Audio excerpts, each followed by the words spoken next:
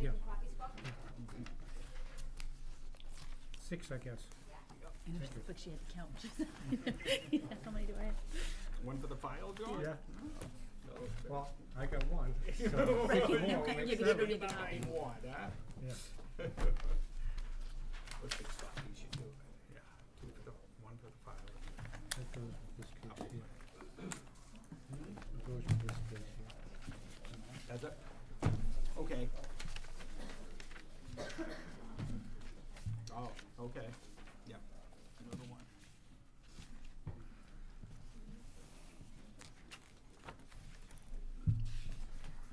Okay, we'll wait till Kim gets back and start the meeting.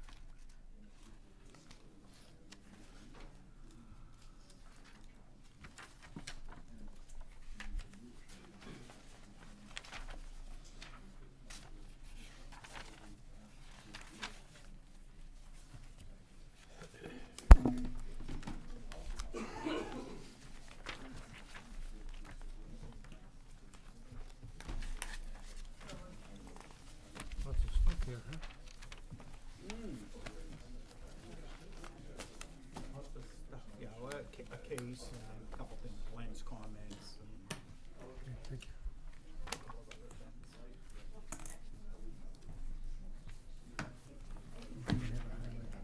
Oh, I have my brief, I don't have one of my, I have one- I don't have one in my pocketbook.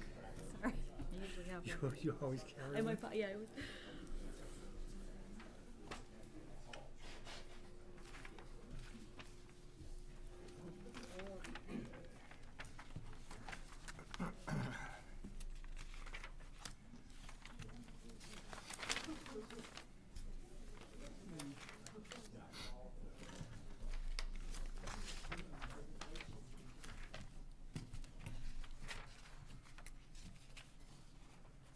Those are cross street.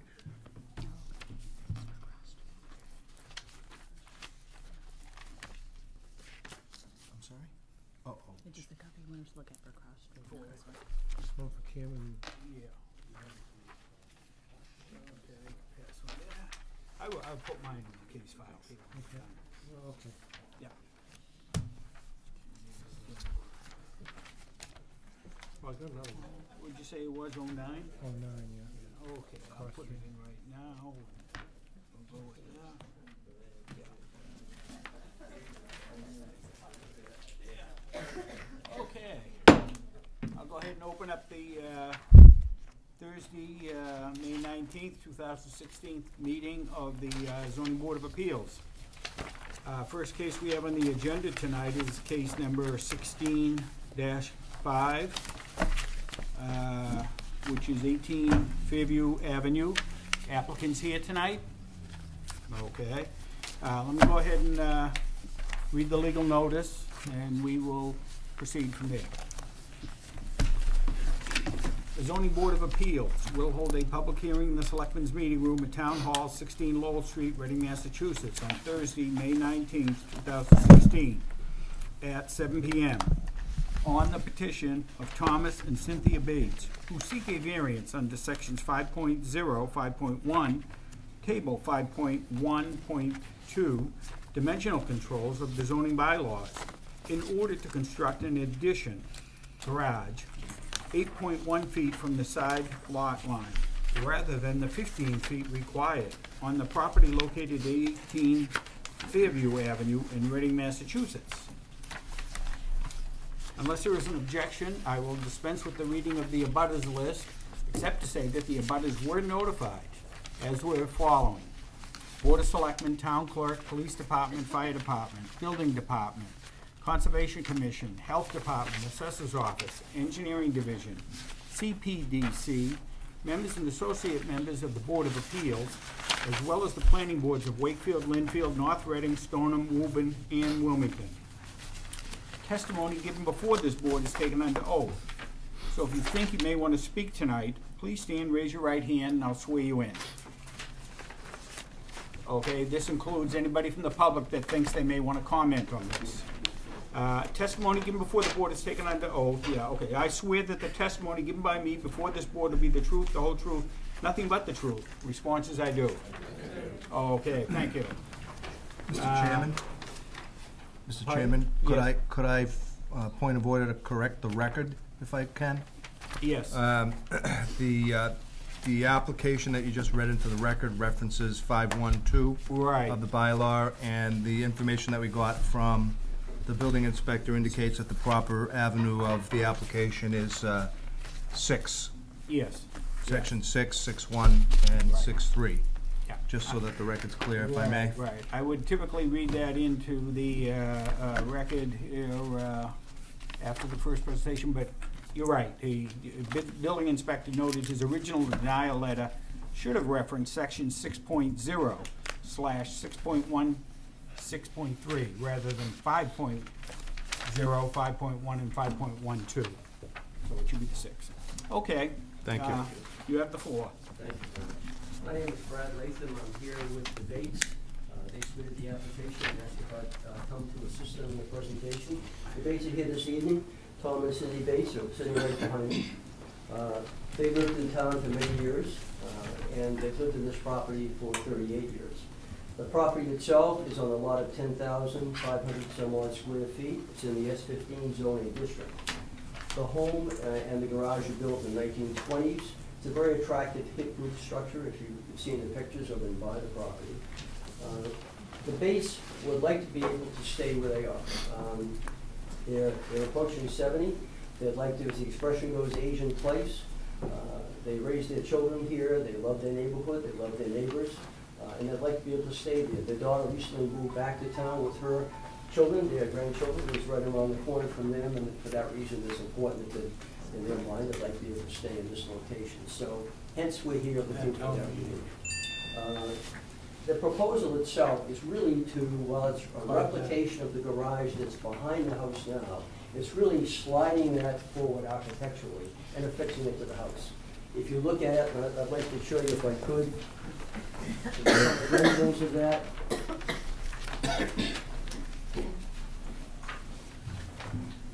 The garage has the same architectural features as the house itself, and they're preserving that by their intended design. Frankly, if you allow them to do that, it's gonna leave it, it's always been there. It's not of character at all.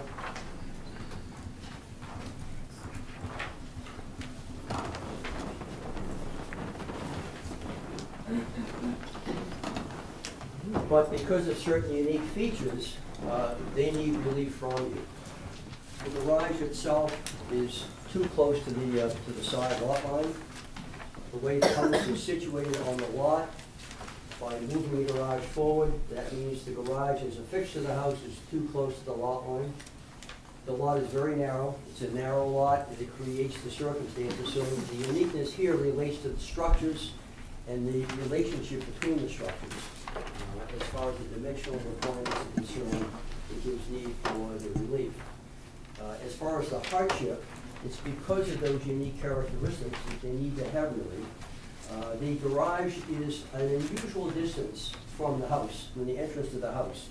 It's about twenty-five feet from the nearest entrance from the house to the garage. We all know historically that garages that were not attached to the house were usually ten feet from the house. Uh, This one being twenty-five feet, that's quite a distance, especially with our weather, whether it's rain or snow, whatever it may be. It makes it very difficult to use that garage uh, because of that. Uh, And as a consequence, they'd like to move that forward uh, and be able to enter, drive their cars, the two-car garage also, which is, which is kind of unique by virtue of a separate structure. But to be able to pull in, park there, and go right into the house. Uh, The, the, feeling is that this can be done without detriment to the public good, uh, or without derogating the intent and purpose of zoning. Uh, The, there's a long driveway right now, and part of the difficulty comes that they have to plow that driveway. Uh, The way it's situated with the fencing and the wall, it makes it difficult, they have to put the snow somewhere, and that becomes a difficult process as well. So what this would result in is a, a shorter driveway. Uh, In essence, garages are quiet structures. Uh, Frankly, I'm in a very similar situation at my home on, on Pine Ridge Road. The house right to my left is a garage. It's about eight feet from the lot line, and that frankly is a, is a buffer, a sound buffer, uh, to what's going on in the house and elsewhere in the yard. So it's not a negative feature. It actually is like a wall to some extent, it's a fence. Uh, and we believe that that would be the same consequence here. Uh, It's, uh, in addition, um, the neighbors who know best of the situation, uh, we think, or hope we're gonna speak support tonight, but some of them uh, provided some correspondence that I'd like to introduce into the record. That wanna go on record as being in support uh, of what is being requested. May I just submit those without reading those, Mr. Chairman? Uh, so It, it would, they're short enough, I think we'll read them into the record. and I'll Want me to put- read I'll- them? Yeah, why don't, why don't you go ahead? Okay. There are three of them. Just three of them? Yes. Okay. Uh, This is from Kerry and John Nickowitz. Uh, They live at 10 Fairview Avenue, and they addressed this letter to the board. Nickowitz family of 10 Fairview Avenue approved the move of garage at 18 Fairview Avenue as they have plans to do so and have presented to the town of Reading for its permission. And that's a letter in support of the efforts to say this moving garage is really, of course, a new structure, but in- in essence, it's gonna end up looking like the garage we just moved forward. There's a letter of May eighteenth, uh, from Joyce and Jim Jenkins, uh, of twenty-two Fairview Avenue, addressed to the board. We have known Tom and Cindy Bates for many years. We think that their plans for the house and garage does make a lot of sense for improving the value and looks of this neighborhood, as well as making their floor plans more efficient for them. We are pleased to say that we are in accord with this, with this proposal. And I, I didn't mention, but part of the plan, though it's not relevant to the relief, is they wanna move the master bedroom down to the first floor, which of course they can do as a matter of right. But that's part of their efforts to be able to stay in this home as they age. Uh, the last one is a, a letter of two pages dated May nineteenth to the board. This is Ray Young of nineteen Fairview Avenue. We've lived across the street from Tom and Cindy Bates for six years, and from day one when we bought our, our homemade cookies to welcome us to the area, we have felt like the most fortunate of neighbors. Uh, Tom and Cindy are the kind of people who extend themselves to others and to the community. They welcome people not only to the area, but into their home at holiday time. They share the first, the fruit of their incredible garden, and flowers and vegetables, and as a side note, um, part of moving the garage forward, because what Cindy noted to me was this would enable her to have a better garden in the, in the backyard, so that's a, a side note. Um, and so they share them with the neighbors. Um, uh, They are, uh, beautiful, uh, to live around, uh, they, uh, they are considerate, uh, and responsible. Uh, We believe their proposed plan to be in time, in line with the character, thoughtful, respectful, and aesthetic-minded. They are wholeheartedly supporting this improvement to their property and believe that will enhance the look and feel of the neighborhood. That's the third letter we'd like to submit from the neighbors. And while we understand this is not a matter of popularity or vote, the fact is when the neighbors come and speak in support or write in support, it seems that they're probably the best evidence uh, of a, a relief, if granted, would not be done with the public good. Uh, The last element is being derogated from the intent and purpose of zoning. We don't believe it would. If you look at the purposes section of one point one of the zoning bylaw, uh, It doesn't cause uh, issues of safety, doesn't cause undue congestion, uh, or any panic or the various issues that are listed there as the objectives of our zoning bylaw. So our hope is that you'd find that the uh, facts sufficient to grant relief. I'm more than happy to answer any questions, and the are here as well to do so. That's a quick summary of our presentation. Thank you. Thank you. Okay, uh, I will go ahead, let's see. We Glenn's input on this, so we, we got a memo from Glenn, the, uh, uh, code enforcement officer, building inspector on this case. Uh, he notes, uh, case number sixteen 5 This proposal is to remove an existing freestanding garage and to construct an attached twenty-one point five foot by thirty-one point zero foot garage. This proposed garage is eight point one feet from the property line, and the side yard requirement is twenty feet. It does not comply with town of Reading requirements. And he goes on to say his next sentence, and I already read that in that it, uh, he made a wrong reference to the section in the uh, bylaws. Uh, David, any questions on this? Uh, yeah. I'd, I'd like to start, if I could, by, um, making a, a public plea to my neighbors to bring me cookies. Uh, My neighbors don't bring me cookies. Um, I'll bring you some. Thank you. Uh, I wanted to address specifically, uh, Brad, the uh, variance criteria, specifically criteria one, if I may, in keeping with the statutory and case law scheme in Massachusetts. Um, As everybody on the board knows, and most people that do this often know, variance is a, is a tough hurdle to reach, given that the statutory criteria are laid out in such a way that make it specifically difficult to obtain relief in requesting a variance. Um, And so as I see the applicant's uh, uh, argument to try to meet the criteria in section one regarding the uh, uh, soil conditions, shape, or topography uh, affecting the land or structure, uh, it sounds as though uh, the shape of the lot may be an issue. It's rectangular or narrow shape is, is a, I I agree, the narrow shape is Okay. one, one of the elements. uh, it sounds as though, uh, the house has grandfathered frontage, if you will, given that it was built before the, the frontage requirements were in place, the minimum eighty, mac, you know, eighty, hundred. Um, and sounds like there's a narrow shape, the, sh- the the lot is narrow. And I wanted to, and, and so I have a little bit of trouble with that, given the case law in Massachusetts that specifically says that variances are not normally available to remedy deficiencies in frontage and area. That's the the Chico case, you're probably aware of it. Uh, and that, uh, that perhaps defect, if you will, if you will, in the lot, which renders the lot somewhat limited in its use for the proposed purpose, um, that an undersized lot is not a basis for a variance, uh, under the, uh, age-old McGee case.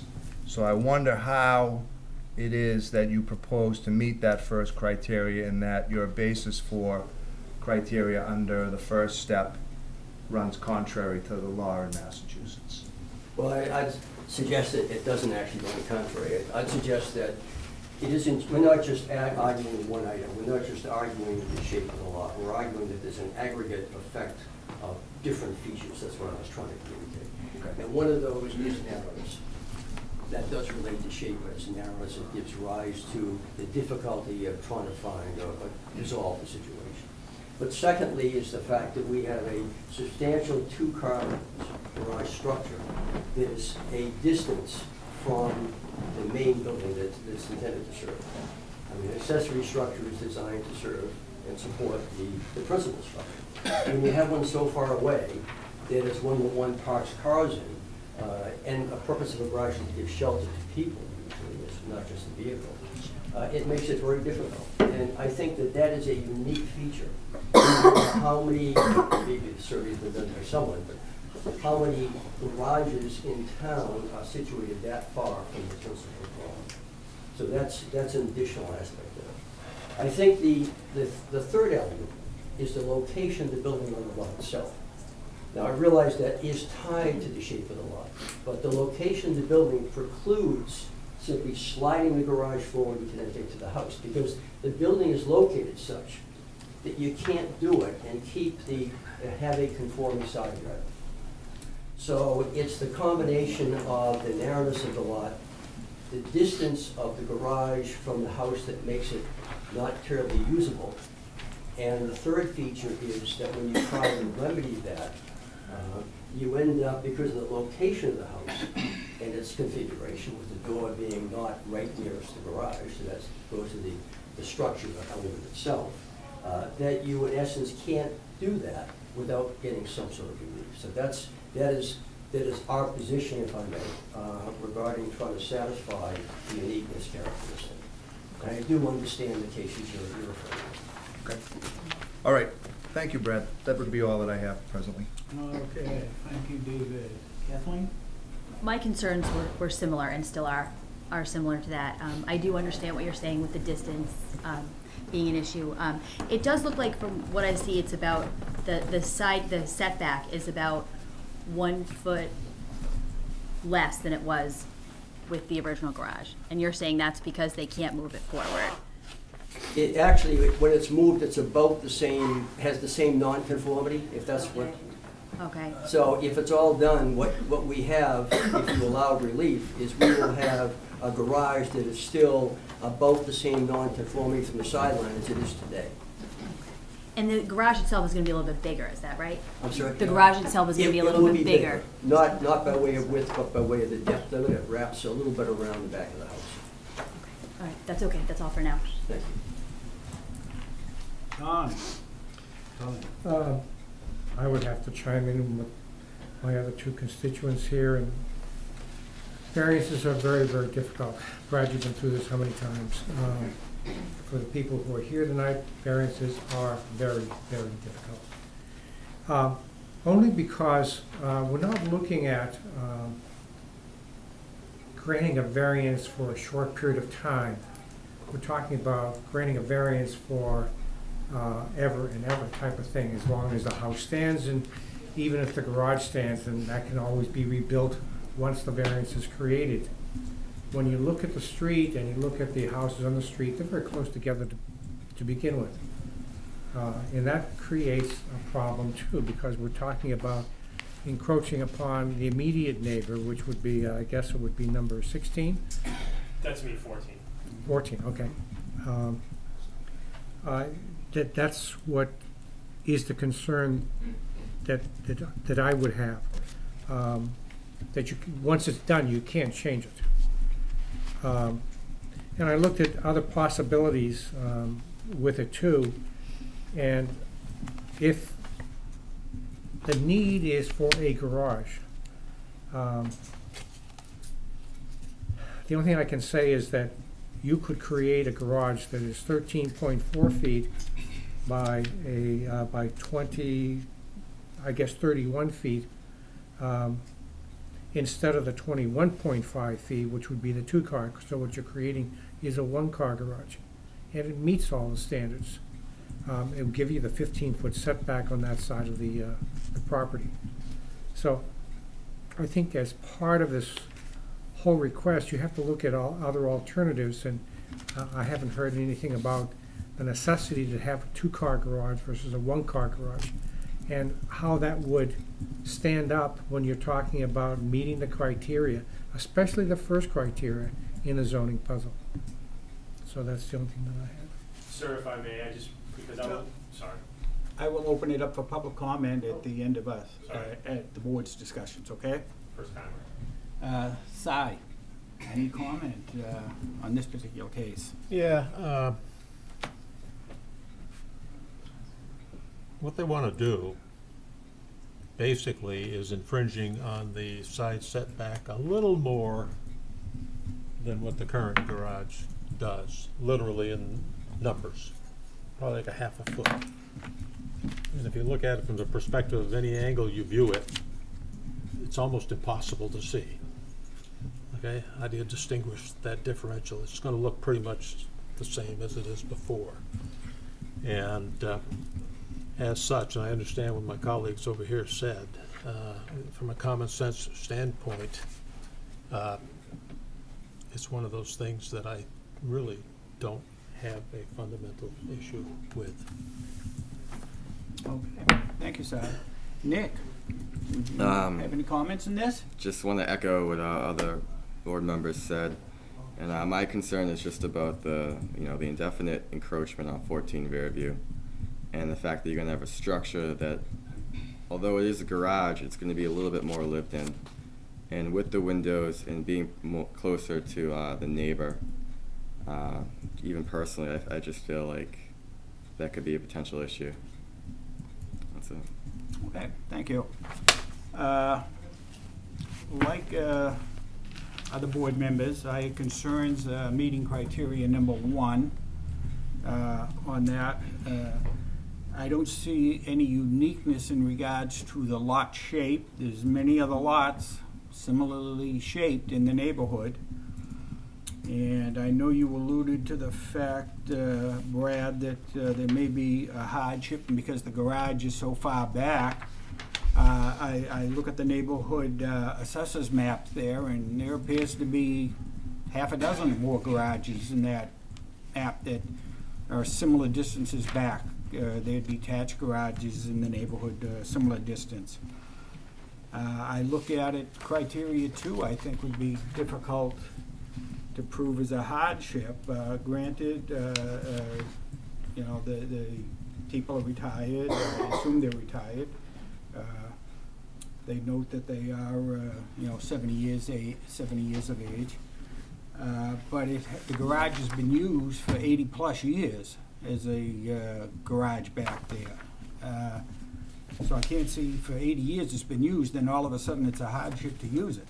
Uh, So I, I have difficulty with that too, uh, on that. Uh, There's no further questions from board members. I will open it up to uh, public comment. Uh, Is there anybody from the public uh, would like to speak? Please state your name, your address, and you can comment then. How you doing? My name is Eric Sutton. I'm a resident at 14 Fairview Ave. I just wanted to uh, say that um, I'm pleased that they want to stay long-term and that it- this, this uh, addition has my blessing. Okay, thank you. And you are, you are the direct abutter I sure am. Yep. on, facing it on the left side there where the garage is gonna be, right? Yes. Yeah, okay. And the owner, Sorry? and the owner of the property. And the owner. Yes. Okay, and- yes. My name is uh, Ray Young, and actually my, my wife wrote one of the letters, uh, but I was hoping to be redundant if that's all right. Um, So Ray Young, on the other side of the street, 19 Fairview, Mhm. my wife and our four kids, uh, we've been in the neighborhood for about six years, and, and we, we receive the benefit of the cookies. That's us. Um, And, and just as uh, Cindy and Tom Bates represented said, that they love the neighborhood and the neighbors, we, we love Cindy and, and Tom. And, you know, they're, the, the, the role they play in the community is, is they, they, they're the sort of folks that will have, you know, put, you know, flyers out to, to bring people into their home over holidays. Uh, they've organized a, uh, a, a streetwide garage sale and, and all for building community. You know, we want them to be able to stay. We, we're fully supportive of this. Um, we've spent, our kids especially have spent a lot of time in their backyard. And we've, we've received, the whole neighborhood received fruits of their labors around vegetable garden and, and fruit. And our feeling is it really opens up their, their backyard quite a bit. It feels like the, the garage is a bit of a obstacle, if you will. It's, it really opens up the garage and I know Cindy loves to garden and, and, you know, I know her garden's also been featured by Museum of Science. Um, so we're, we're fully supportive, you know, we're, we're, we're an advocate of what they're looking to do here. That's it. Okay, thank you. Uh, Is there anybody else from the public who would like to speak? Yes, sir. You could state your name and address? Everett Blodgett, 99 Prescott Street. We live one street away. Okay. Uh, Also have known the Bases for a long time. There's a, there's a pause in it, there's really no dynamic change in the look of the property, but there is a dynamic change in the covering of asphalt. We tend to think of that as not being important, but to bring the garage forward and you're shortening that, that driveway by, I'm guessing 30 or 40 feet. And that, that just, you just don't leave any open space that isn't paved anymore. It's actually producing open space which is not paved. And that's a real big positive in terms of that. In addition to that, the look just stays almost exactly the same. It's an enhancement to the property uh, by not seeing all that pavement that leads up to this driveway in the back. So, that's all I have to say. Okay, thank you. Uh, Oh, you were raising it. Okay, any other uh, comments from public? If not, I'll close the uh, public portion of the uh, meeting. Is there any further comments from board members or questions? discussion? Uh, Mr. Chairman? Sorry. Yes. I'm sorry, I was referring with the client. Um, Could we have this continued? Uh, We heard a suggestion in a comment about the one-car garage. They'd like to talk among themselves. Is that possible that? um, that We- we was can do question that. you really- Yes, I- I- I we Can we continue that until next session? That, that was gonna be something I, I was gonna suggest. John, I thought had a good idea uh, on that, that you could bring it back. Uh, I don't know how they would receive, you, you may be able to go back thirty feet with a one-car garage and stack two cars in that garage in, in a series as opposed to side by side and meet all requirements. Uh, Maybe shorten it up, uh, you know, I, I, you know, if there's a need for two cars, maybe they only need one car, I don't know. But, uh, sure, I, I think we could, uh, do that. Uh, right Bob. now, the applicant, yes, David? Jim, just for, to, for consideration, we, we were provided with a schedule tonight of open, of open Yeah. ZBA meetings, and so the, the next meeting that has, uh, space, I guess, is June second. I don't think that there are too many on for that. Oh, yeah, there were two on for that night. Uh, but then the next one after that would be June twenty-third, which is the forty B hearing, where I think we're, We, uh, yeah. only gonna hear that case that night, and then the only available night after that would be July se, we'd be into July then, July seventh or twenty-first, so, uh, is June second appropriate? I think June second would be adequate to give them a chance to confer, if that's acceptable. Mhm. Can I just ask something? Um, if, if, Yes, yes. do we have to go with the, um, the variance if we're going to just do a one-car garage? Uh, no, I don't believe. You, you, you can speak to Glenn on that, or you could, you have Mr. Latham, who's very familiar with the bylaws. And that's where we need to continue it to see what you can do with or without a variance. It may be that in, you decide in a week or two, you don't need a variance, but we need to keep this open, so if you need a variance, we can come back and present it. Yes, yeah. If, if you decide you, you come up with, uh, a a revision that you see you're meeting all setbacks and you don't require a variance, you can always re- request that your, uh, application be withdrawn without prejudice. Mr. Latham can help you with that, certainly. Uh, Yes, sir. Um, I think, I don't know how to, how to express to you that even though probably all the members sitting here tonight would love to give you the two-car garage, the standards in section forty A of the, of the uh, state bylaws are very specific, that you must meet not one, not two, not three, but all four of the conditions that's stated in the, in the law. And as much as we want to do that, we just cannot do that. Uh, And I think that um, if we were in a similar situation, we'd be arguing the same situation, we'd be arguing the same case, but probably the end result would probably be the same. But by adjusting this a little bit, and you take it out of our hands, um, if you can comply with the fifteen-foot setback with either a one-car or as uh, Bob suggested, maybe a two-car um, tandem-type parking garage, uh, and still give you s- some additional room in the back for the mudroom and the entryway. Um, Okay, uh, If that's the case, you, so you are requesting continuation? Yes, we are. uh, Until, what was that, June June? second. June second. Okay, uh, I would entertain a motion from a board member then to, uh, uh, continue this to, David, yeah? I, uh, I move that the board accept the petitioner's request to continue the hearing to the night of June second. Second. everybody's second. Second from- Second from John. Uh, Okay. Uh, All those in favor, uh, any further discussion? If not, all those in favor of the continuance? Okay, thank you. Uh, On this particular case, we'll have the five regular members. Uh, Nick is an associate member. We have five regular members here tonight, so the five members will vote on that, five zero zero. Thank you. For continuation. Okay, thank you. Thank you very much.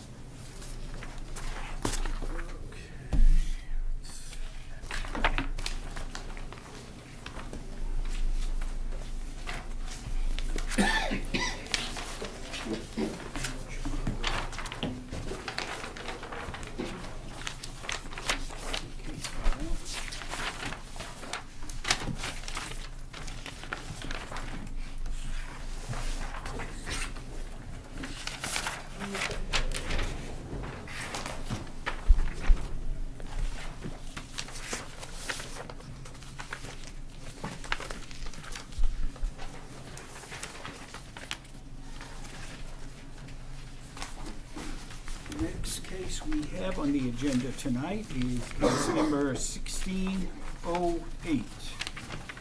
Is the applicant here for, uh, that? Sixteen, let's 56 Cross Street. Yeah, that's, uh, right.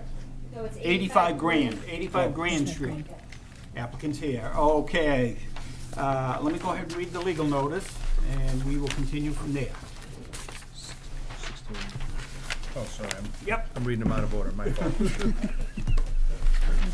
Uh, okay, let's see, make sure I have it correct here. Oh, wait.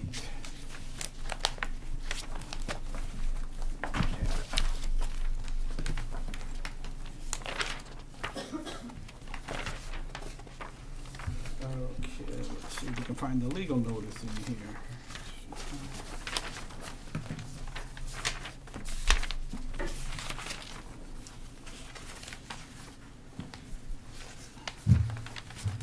Okay, the zoning board of appeals will hold a public hearing in the selectmen's meeting room at Town Hall, sixteen Lowell Street, Reading, Massachusetts, on Thursday.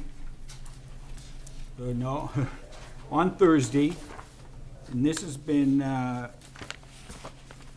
edited to, uh, yeah, May fifth, or excuse me, May nineteenth, two thousand sixteen, from, originally it was scheduled for, April fourth or excuse me, April 21st, 2016.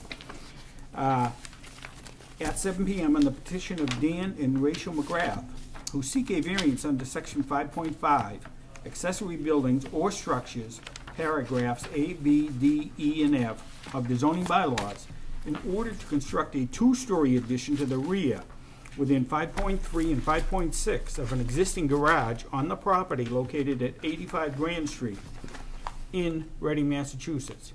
The required distance is currently 10 feet. Uh, Unless there is an objection, I will dispense with the reading of the abutters list, except to say that the abutters were notified, as were the following.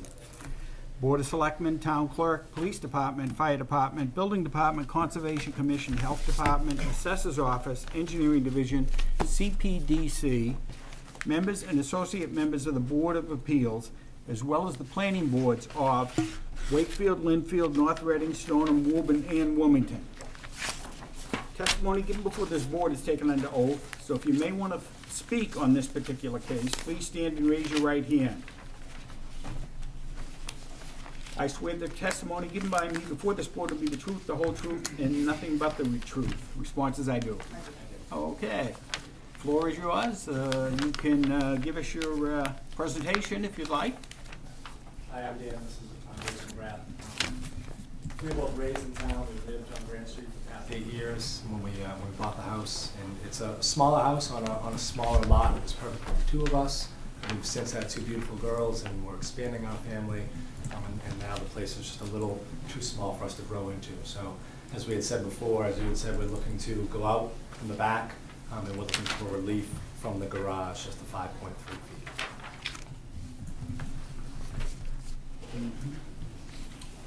Okay. So a few years ago, when we, when we started the plan, um, everything was good, and then we had a serious health concern in the family, so we had to put an immediate halt on the plan itself.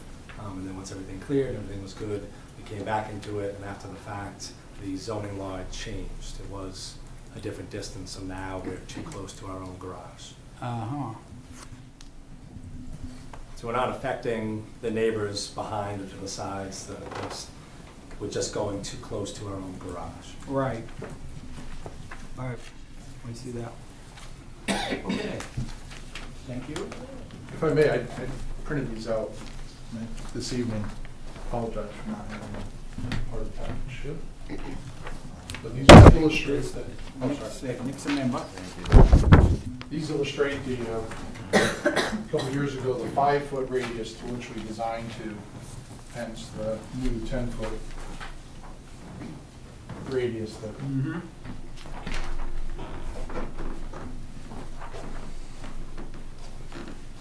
Okay.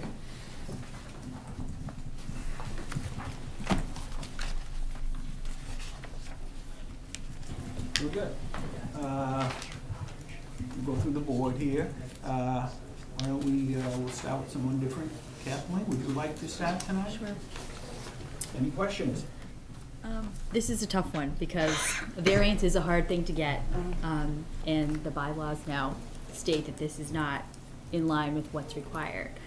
Um, obviously, like John had said previously, we would love to grant these, but it's a hard thing to do. We have to go by what's in front of us and by the bylaws. Um, and I guess my question would be, knowing what the bylaws are now, have you th- thought of any other options or um, any other way to make that addition happen for your family? Um, I'll, I'll speak, I'm Steve Yeah. Basic, the ar- their architect. I mean, a- as you can see in, in the plan that I just gave you, we're pretty much maximizing the available land to, to build on within the setbacks. And that was maximizing it with the five point three, or the five point rule a couple of years ago. The ten point rule makes virtually any addition on the lot not reasonable.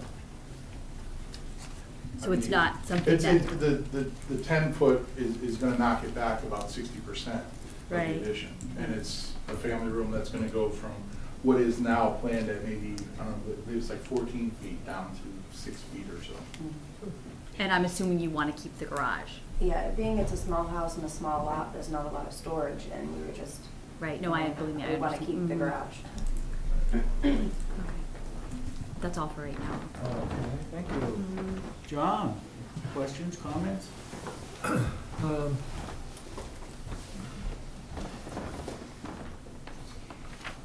Is this your primary residence? Yes. It is. Um,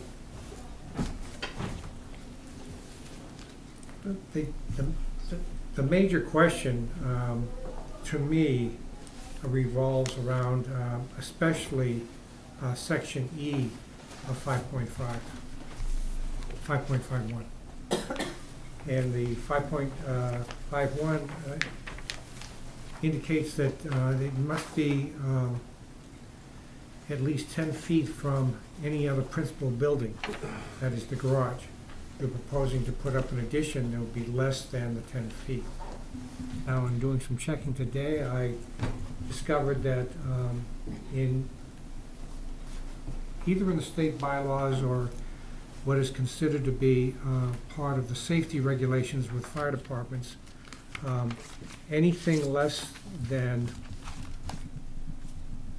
and I don't know what the actual number is, uh, but uh, in the recodification of our zoning bylaws, uh, that was taken, I'm sure, into effect. Um, The ten feet is necessary for the fire, um, the fire department and its, and its uh, fighters to get around between principal and uh, accessory buildings.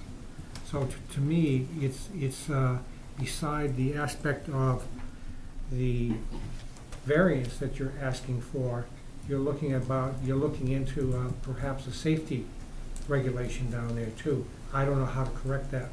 I mean, it's my responsibility to see what the correction is. So I think um, when you mentioned that um, there probably is not a way to um, accomplish this addition with the existing garage there, you're probably right on target. Um, The only thing that you could do would be to cut back uh, the garage, but the garage is small to begin with. It's only 19 feet long, so you'd be able to put just a small car in there. But still, that it wouldn't give you the, the 10 feet that's in our bylaw. So again, you're asking for, uh, as the building inspector said, A, B, C, D, E, and F, but the one that bothers me the most is E. So that's the concern that I have right now. Make a comment. Can I make a comment? Uh, Or you going to wait? Yeah, sure, yeah, yeah. So can- I, can I see just wanna make sure we're on the the same applicant- page. My understanding, when we started designing this a couple, of or when I started designing this a couple of years ago and working with my client, went into talk with Glenn, and the rule was five feet. And the direct hardship of their illness was severe enough to put the project at an immediate halt. So while there's the hardship of the zoning, I think the hardship of, if, if, if the illness never occurred in the family, we would, we wouldn't be here, this would be built, and they would be happy to what we're asking for.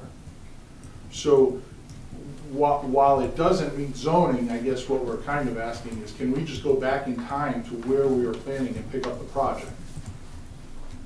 I, I, I know, it's not that simple, I understand, but I just wanna make sure we're on the same page, that the hardship that we're projecting is not only that the, the site itself is challenged in every way, from lot size to setbacks to garage size, to proximity of garage to the existing structure, but the, the illness severely complicated the whole matter, and it, it basically doesn't allow the project to exist. Yeah, we, we can see that, that it Okay, I'm doesn't, just but, uh, making sure we're on the same page. obviously, yeah, it, it isn't like we've seen anything on this property before. You might have had ideas, you designed it at a particular time, but it has, it never came to fruition with us. Understood. Yeah, so consequently, this is our first time viewing this, and this is the bylaws that we have to uh, abide by. Well, again, Mr. Chairman, we have to Yes. go back to the criteria that's listed in 40A, and there's four criteria. Yeah. I, I don't think that the major, the major stumbling block really is the second, which is the hardship. I don't think it's the third or the fourth. You're on a, basically, uh, I think that the, uh,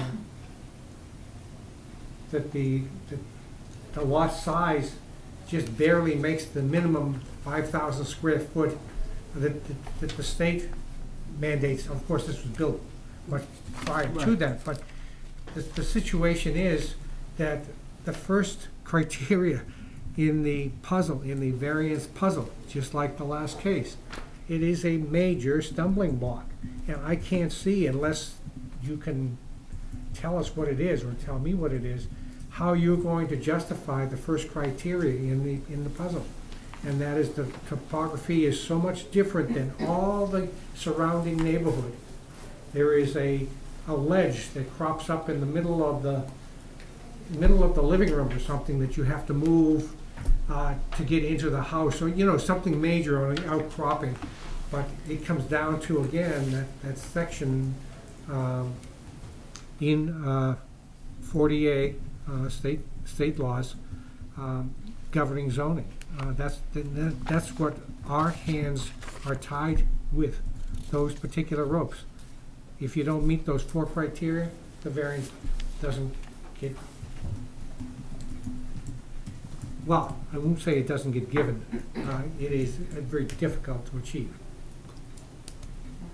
And, it- and as Bob said, you know, um, if this had been, if this had been proposed and it was done, it came before this board, this board, um, even if something happened and this board had to continue and you withdrew or something, we would have had something in writing prior to this. Time is not always our our best friend. Sometimes time is our greatest enemy, so. I just want to make sure that you understand, this is not about you and the hardship that you have. It's about meeting the state guidelines. Okay, thank you, John. Si, uh, questions? This is a, Comments? diffi- this is a very difficult one, and uh, I to- I totally side with my colleagues over here in terms of looking at it. I think we're all sentimental to the situation you have gone through and faced today, but this is a really, really tough one when it comes to compliance with the current zoning laws. And, uh, I think they've said it well, and they can't am- amplify it anymore. Thank you, Si. Nick? Yeah, um, I don't have any comments or suggestions. Okay, thank you. Uh, I would agree with the other board members. Uh, I think it's criteria number one that's, that's tough to meet.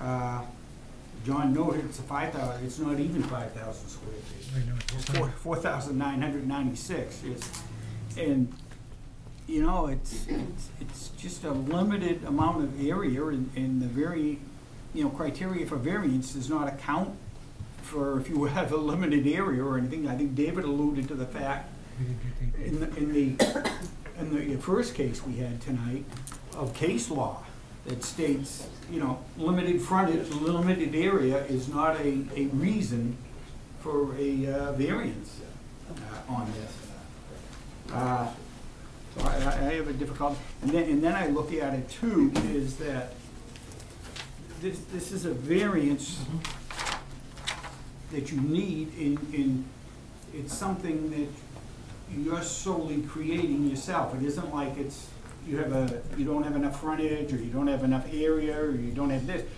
This is something you're creating yourself. You're building something within your lot that's less than ten feet from another principal building. And you're creating the need for the variance, uh, on that. So I, I find that very difficult. Uh, We missed it. Oh, I- yeah, we'll come around to David. I'm sorry, David. I said I tried to not go. David, yes, comments. It's okay. Um, Thank you.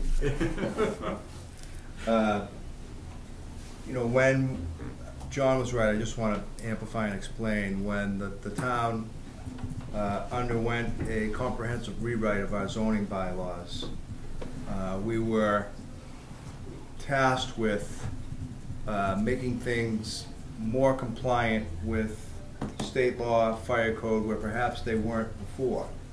And so the changes that, that we proposed, that town meeting approved to uh, this section of the bylaw were done uh, primarily in response to feedback from the community and from daytime government, um, and from those uh, tasked with enforcing uh, these, the building department, community services department. And so just a little bit of a background. Uh, The requirement that, that John alluded to earlier was done mindfully, not by accident. It was there to right a perceived uh, deficiency. Uh, So it wasn't done with a specific intent to make it harder for good people to do good things with their property. Uh, It was to bring things a little bit more in line to where they probably should have been in the first place. Um, You know, I live on a very small lot too. And uh, I can't do everything that I would like to do with my house in particular. Um, But the, uh, the statutory criteria that we are asked to uh, enforce as a board doesn't take into consideration the extremely heartfelt and, and um, uh, serious family situation that you went through. And so we are human beings while we're tasked with enforcing the law. Um, I think it's difficult for us to, as your, your architect uh, alluded to, uh, to reset time uh, to give you the relief, as much as we want to. You know, as much as we would, as much as we would like to turn back the clock, as, as much as you'd like to turn back the clock and be able to do it when you wanted to, we'd like to be able to turn back the clock and let you do what you wanted to. Uh, But I don't think the bylaw gives us that latitude here. Um, So I want to, sort of in the vein of what we did with the last case, uh, you know, perhaps um, hearing what the board has had to say, you might want to discuss among the people that you trust in this case, whether or not you want this board to vote on your application tonight, whether you want to uh, continue perhaps to discuss that with the people that you have on your side and perhaps come back again, or revamp your plans so that you might not have to come back again. Or, the board is here tonight, we're here for a reason. Uh, You've asked for us to decide on your petition, and uh, we're here to do that if that's what you want us to do. Um, Understand, uh, I think, with the chair's permission, that uh, if we vote on your case and it's voted unfavorably, you're barred for two years from coming back with substantially similar petition uh, for your property. Uh, With that in mind, I, I just wanted Sure. close my, No, my no, commentary to thanks the for letting petitioner me and know. try to We- be, We typically let you fair. know your options. Thank you. Yeah. uh, that's all I have, Mr. Chair, thank you. Okay, thank you. Uh, I will open it up to public comment now. If there is anybody from the public who would like to comment on this case, uh, it's open to public comment. Please raise your hand and uh, state your name and address. If not, I will close the public portion of the uh, hearing. And uh, I think you've heard all the board members. Uh, and David alluded, there's a few options. You could continue like the previous case that was ahead of you to another date. And, uh, and at that time, you know, you would give you some time to discuss it with your architect, with anybody else, uh, other options that you may want to do. We could vote tonight on it, give you a decision. You would have the option even now of withdrawing your application without prejudice. You do that, you could come back within the two-year period with a similar thing, if you withdraw without prejudice tonight. Uh, You could continue and discuss it with your architect, with anybody else, for another date, and at that date, you could withdraw without prejudice. Uh, So there- there's two or three different options you could do, uh, what you would like tonight. I would Uh, like to withdraw. You would like to withdraw tonight without prejudice? Okay. Uh, You've heard the applicant. Uh, I would uh, entertain a motion uh, to, uh, uh, for the applicant to withdraw without prejudice his uh, application. I move to approve the petition of Dan and Rachel McGrath um, to withdraw their petition for a variance under sections five point five um, of the zoning bylaws without prejudice. Um, So moved. Okay, thank you, Kathleen. Do I hear a second? Second. Second. You did? S- Second from David over there. Yep, Uh, yes. Any further discussion from board members? If not, all those in favor of the request to withdraw without prejudice? Okay, let the record show five zero zero. Thank you so much. Thank you. Thank you very much for your time.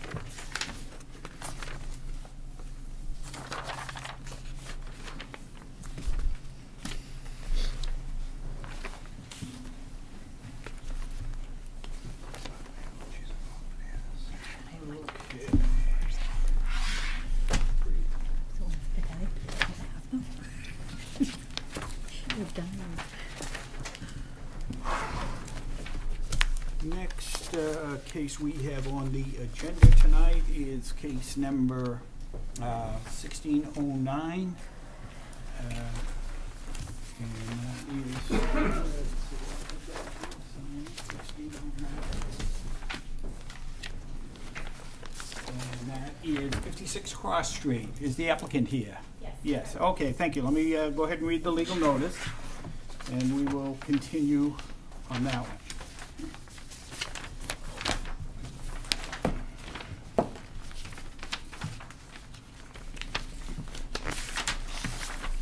Uh, The zoning board of appeals will hold a public hearing in the selectmen's meeting room at the town hall, 16 Lowell Street, Reading, Massachusetts, on Thursday, May 19th, 2016, at 7 PM, on the petition of Kerry M. Armstrong, who seeks a variance under section 6.3, Table of Dimensional Controls of the zoning bylaws, in order to add a 28-foot by 40-foot garage as per plans submitted on the property located at 56 Cross Street in Reading, Massachusetts.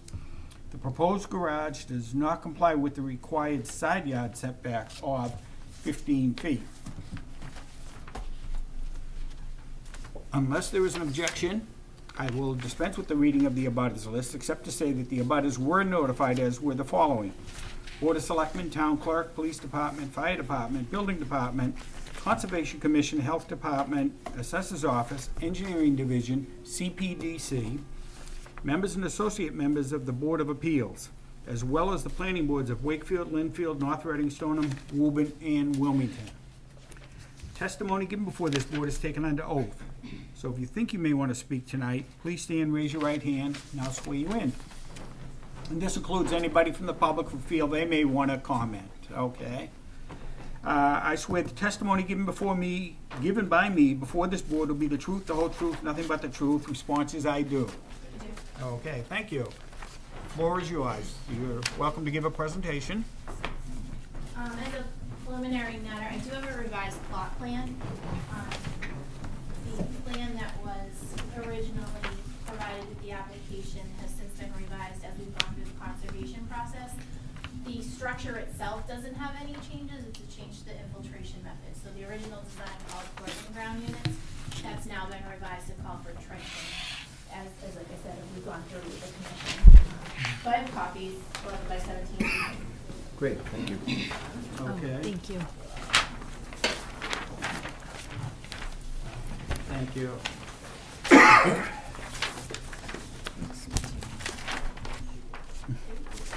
Um, so, we are newcomers to Reading. Sounds like the only ones in the room. Um, but we recently purchased this property back in September, um, after a very long search and a very hard market, and finally found what came to be as close to perfect as it gets, um, home for our family. One area where it is woefully deficient is in the garage and driveway area. Um, currently, it's a single-family, um, ranch, single-level ranch, does have a full basement. Um, the garage has an inclined driveway and goes down to a garage underneath the home. That garage does not really fit any vehicles aside from maybe my daughter's small bike. Um, it's very hard, as we went through the winter, luckily there wasn't a lot of snow, but it was hard to plow, um, difficult to, to really use it. We ended up parking on the lawn most of the winter. Um, there was an occasion even when my car started to slide right down the driveway. Um, so what we would like to do is to put on an addition of a garage with some, uh, with a room above it that would, um, hopefully eventually become like a family room, space that we could use. Turning this into now what would probably be the perfect home. We would have enough space. Um, we would be able to have enclosed garage parking for both of our vehicles, about three, three vehicles, um, with, with my teenage son who's about to start driving. Um, so the garage as proposed, as you can see from, um, from the plan, does cut into the setback a little bit, just in the, in the top front corner. Um, and the reason why it's situated where it is, is for a few reasons that are uh, unique to the lot. Um, number one is we're in a conservation zone, we basically, our entire yard falls into a buffer zone. You can see on the plot plan all of the different markings. So what we tried to do was keep this, the proposed structure as close to the street side to be away from the wetland, from the, um, from the conservation area that's in the back of the home. Push it up as close as we could to the street so that we had enough of a space. Um, we have gone through with conservation, we filed a notice of intent, they did just last week, I just received it today in the mail, issue an order of conditions. Um, so they, they've had full time to vet, to vet the project on that end. Um, so as we pull the garage forward toward the street, the property line and accordingly the setback line that follows it also tapers in toward the front of the house the closer you come to the street, so it kind of goes in a diagonal this way. And that is how we end up with the corner for which we're applying for the variance, which I highlighted on this copy as this little yellow corner right here. Um, so another reason too of where the placement of the garage is, and again, trying to keep it as far away from the conservation area as possible, is to have a natural attachment to the house. We do want it to be an attached garage. Ideally, it would attach, you know, matching up at, at a larger area, um, but that's just not, it's just not possible. Uh, it's not possible to do on the left-hand side of the house because of the wetlands. It's not possible to do any, any further in a different area on the right side of the house because the property line does come in. Um, where it's placed right now, we worked with a designer to do this, um, allows for at the very back corner of the house, for the garage to attach in a place where, once it's built, we will have to walk up from the garage into the existing home, and then from the existing home, we would have to walk up into that new area above. So it's, it's a good attachment point, there's already a stairway there, it's, it's the most natural, that made the most sense for the design, keeping in mind the setback and the conservation area in the back. Okay. Thank you. Very good.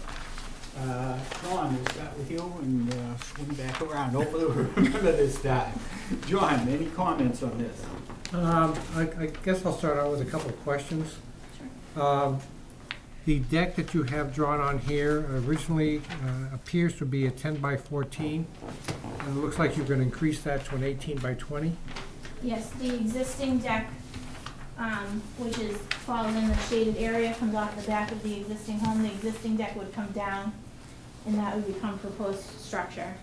And then that would have another deck off of it. So the back of the home would also be extended, and then a deck off of that. Okay, I, I guess I, I didn't see the dimensions very clear on here, I just had to use a, a scale to more or less kind of pick that up. Okay, um, the, uh, on the, um, I guess it would be the easterly side or the right-hand side of the proposed addition, you have dormers on the second level. Yes. Um, Is that with the dormers and the overhang of the roof uh, within the twenty-seven point five feet? Or is the dormers in addition to the twenty-seven point five feet? I believe that it is within, I can't speak that with hundred percent certainty. Um,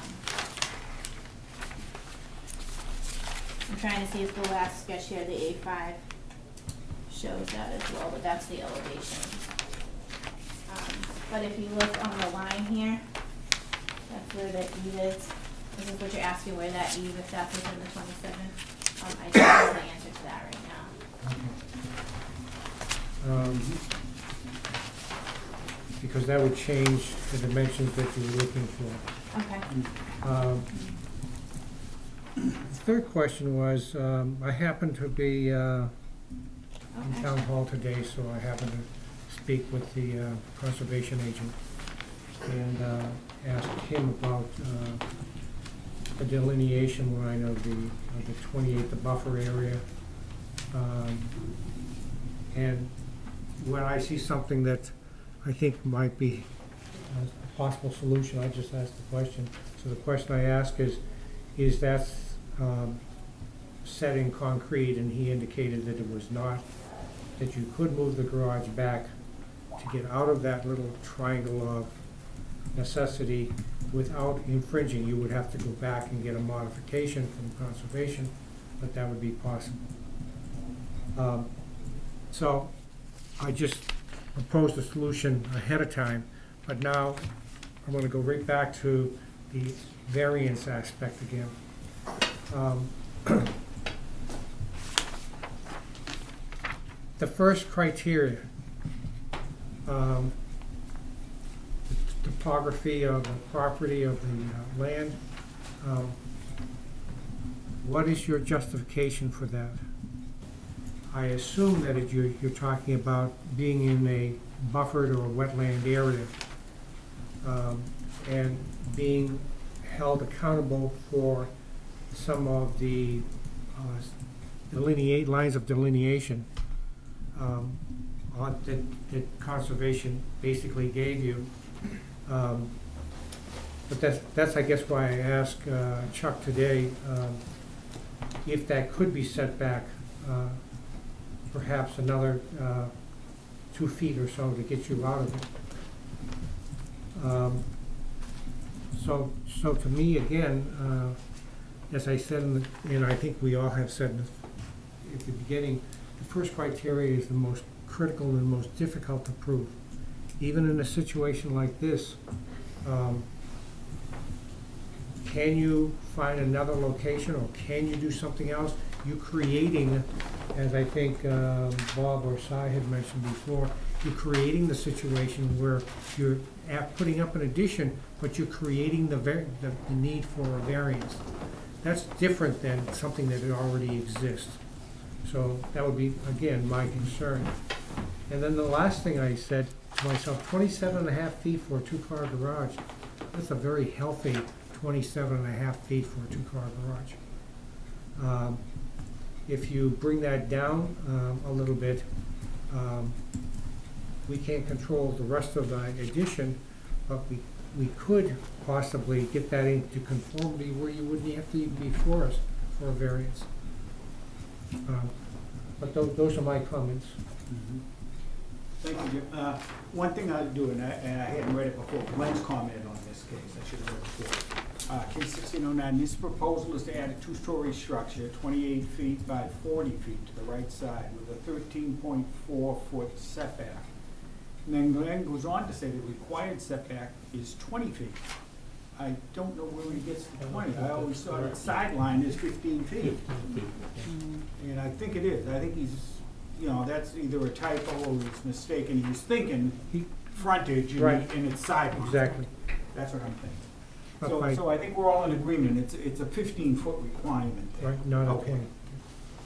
Uh, Si, uh, comment uh, on this particular case? I think, I agree with John, I think this probably could have been more differently thought out of so that you wouldn't even be here tonight.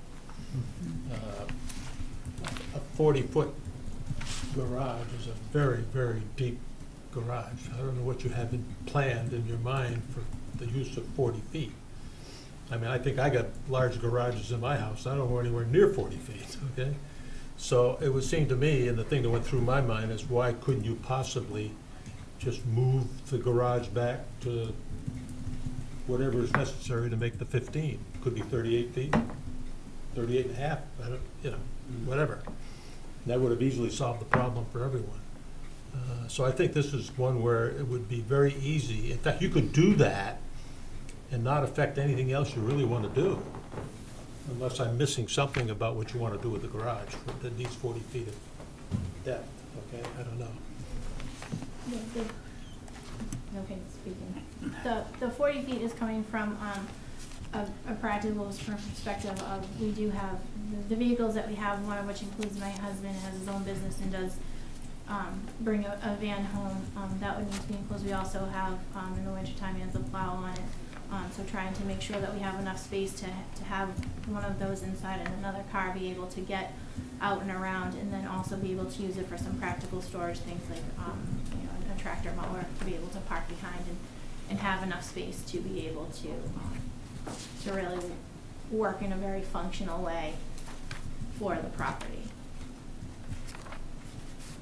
But it would seem to me that, that you, you got, you got two ways you could avoid being here. One is to shorten it, or just move it back.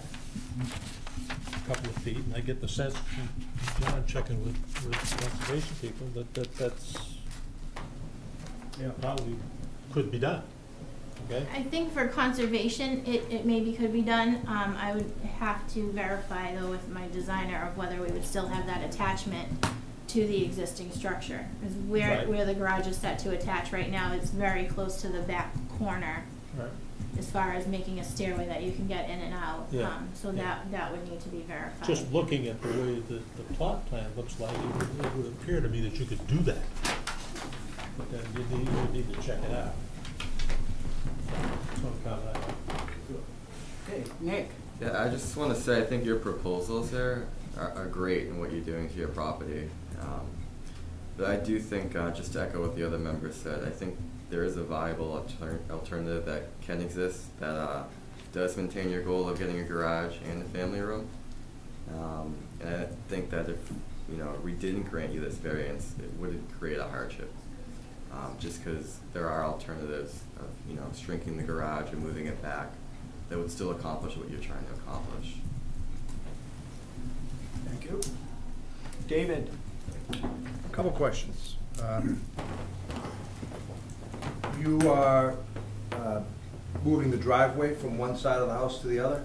Yes, so where the new garage would be, it would have a driveway coming out to the street and then we would infill the slope and that would become lawn. That would be all front yard. Is that requiring a new curb cut to open up the street to get that new garage to have access to your street? There's no sideway and curb, but yes, I believe.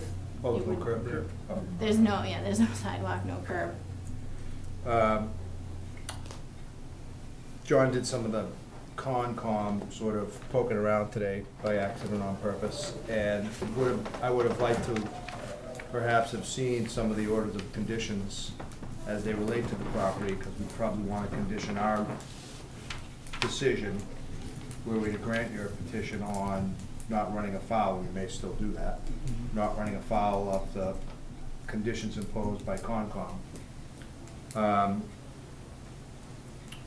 I, uh, I see the proximity to wetlands and a buffer zone as, as a means to satisfy the first criteria um, for the application for a variance. And we're, we're a very helpful board when, when we can be in terms of proposing uh, alternatives to applicants to give them some food for thought, perhaps give applicants ideas, um, but it's not required for a variance. We go, I think, a little bit above, above and beyond on that, which, which is, which I think a good thing in terms of being interactive with our applicants, but um, it's not, the, the standard is not whether this is the best use of your property.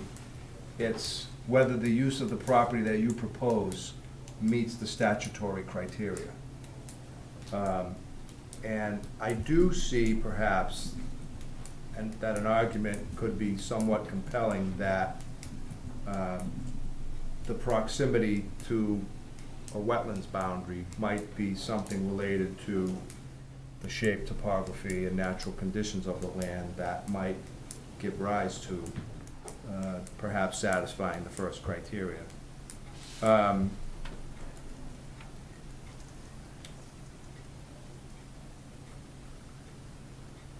The, you know, the fact that you could change it to take it out of the uh, need for perhaps coming to us for a variance is en- is entirely up to you.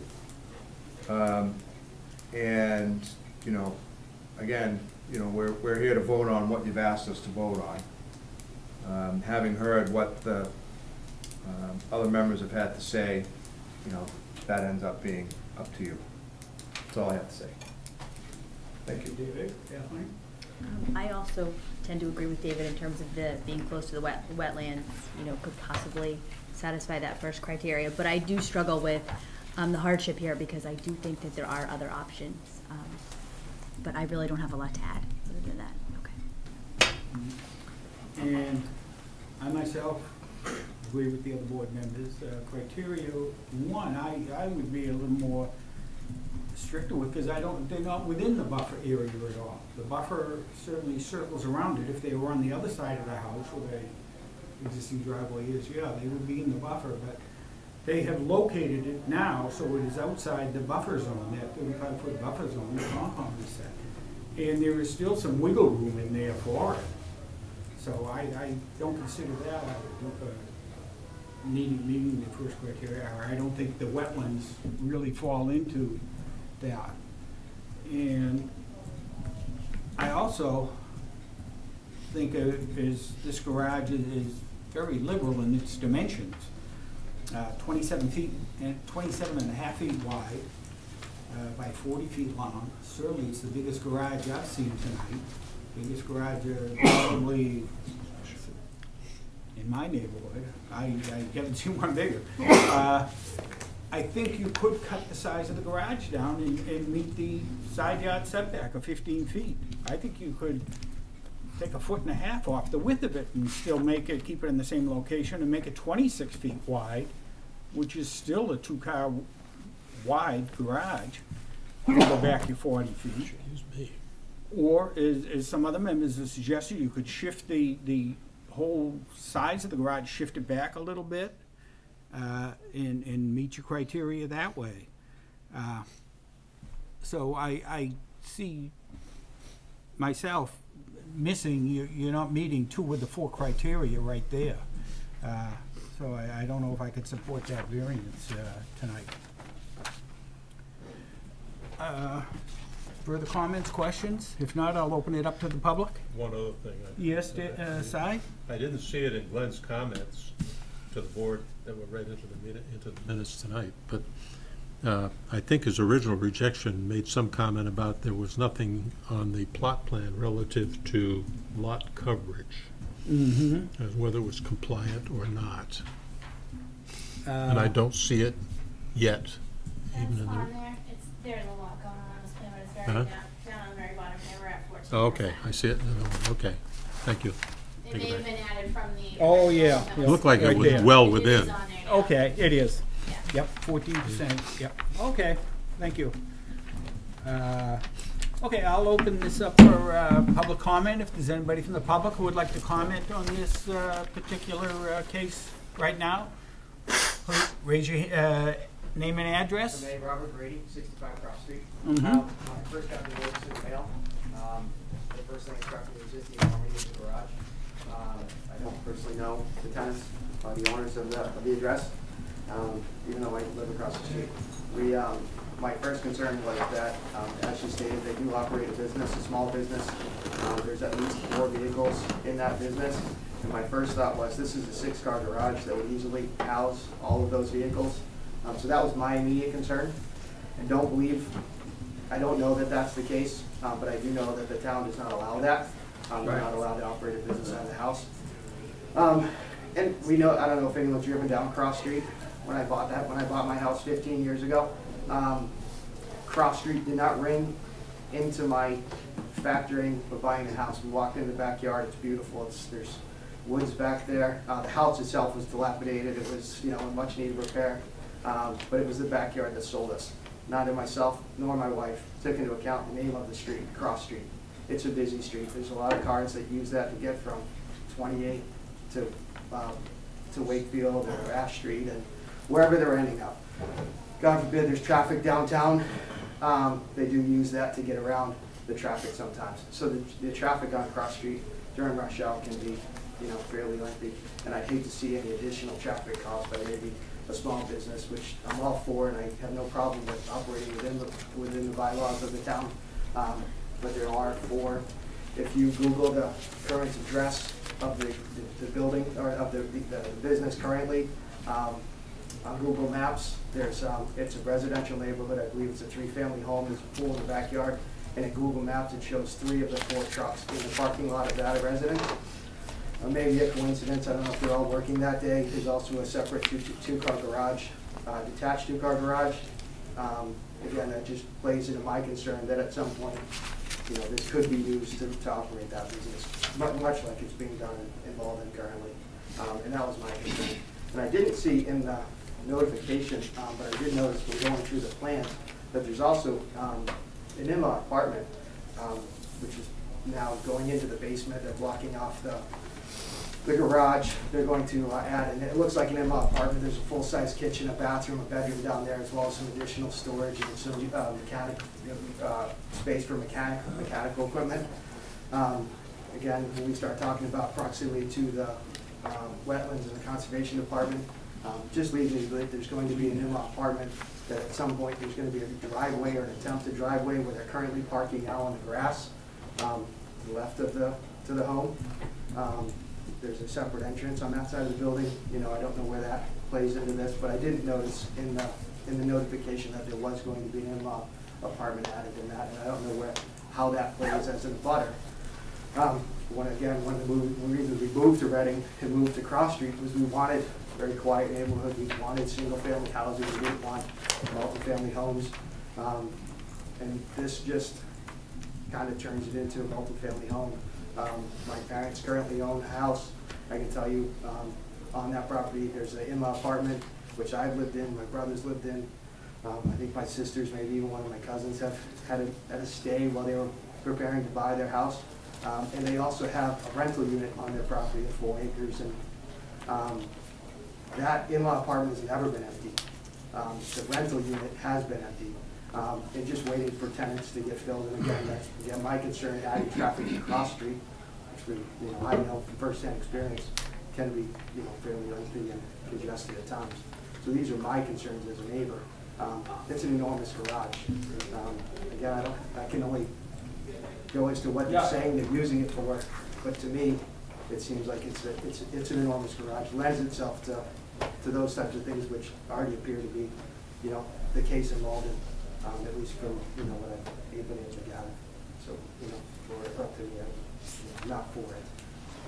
Thank you. Okay, thank you. Uh, Y- my- yes, my- sir. My concern is just, is, is Yeah. more, uh, one of. Could you state your name and I'm sorry. address, please? Bill McCaffrey, sixty-two Cross Street, direct, uh, abutter to, uh, to fifty-six. Okay. Um, yeah, my- my, my concern is more, I guess, one of privacy at this point. You know, one of the things we've always liked about Cross Street is that, and Reading in general, is that the, there's, there's quite a bit of space in between the houses. Uh, a couple of years ago, we had the opportunity to move to Georgia, and we went down there and looked at, at properties a couple different times. And one of the reasons we didn't move is because the, you know, proximity of the houses are so close to each other. And I feel with the, you know, the family room going on to the second edition, it just, I don't, it- I don't, it just, it, to me, it's, it's just, uh, uh, something that, that we have to get used to, I guess. We're just not used to having something so close to us, uh, kind of looking down into our backyard and onto our deck, so. Um, This also. has been, this house has been in my family since the existence of the neighborhood. Um, n- n- they were built in June nineteen sixty when we moved in. On May nineteen sixty, we moved in in June. Um, that was my aunt's house next door. Um, we're happy to have the Armstrongs next door.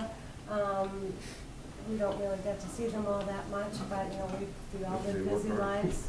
Yeah, but we all work hard. And, um, you know, my concern is just maintaining the integrity of a home that I've lived in basically for fifty-six years.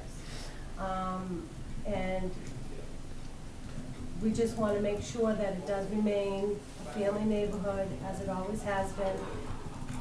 The structure that they're adding is probably at least doubling the space that they have right now. We, we live on beautiful lots. They can do whatever they want with their land. I have no problem with that.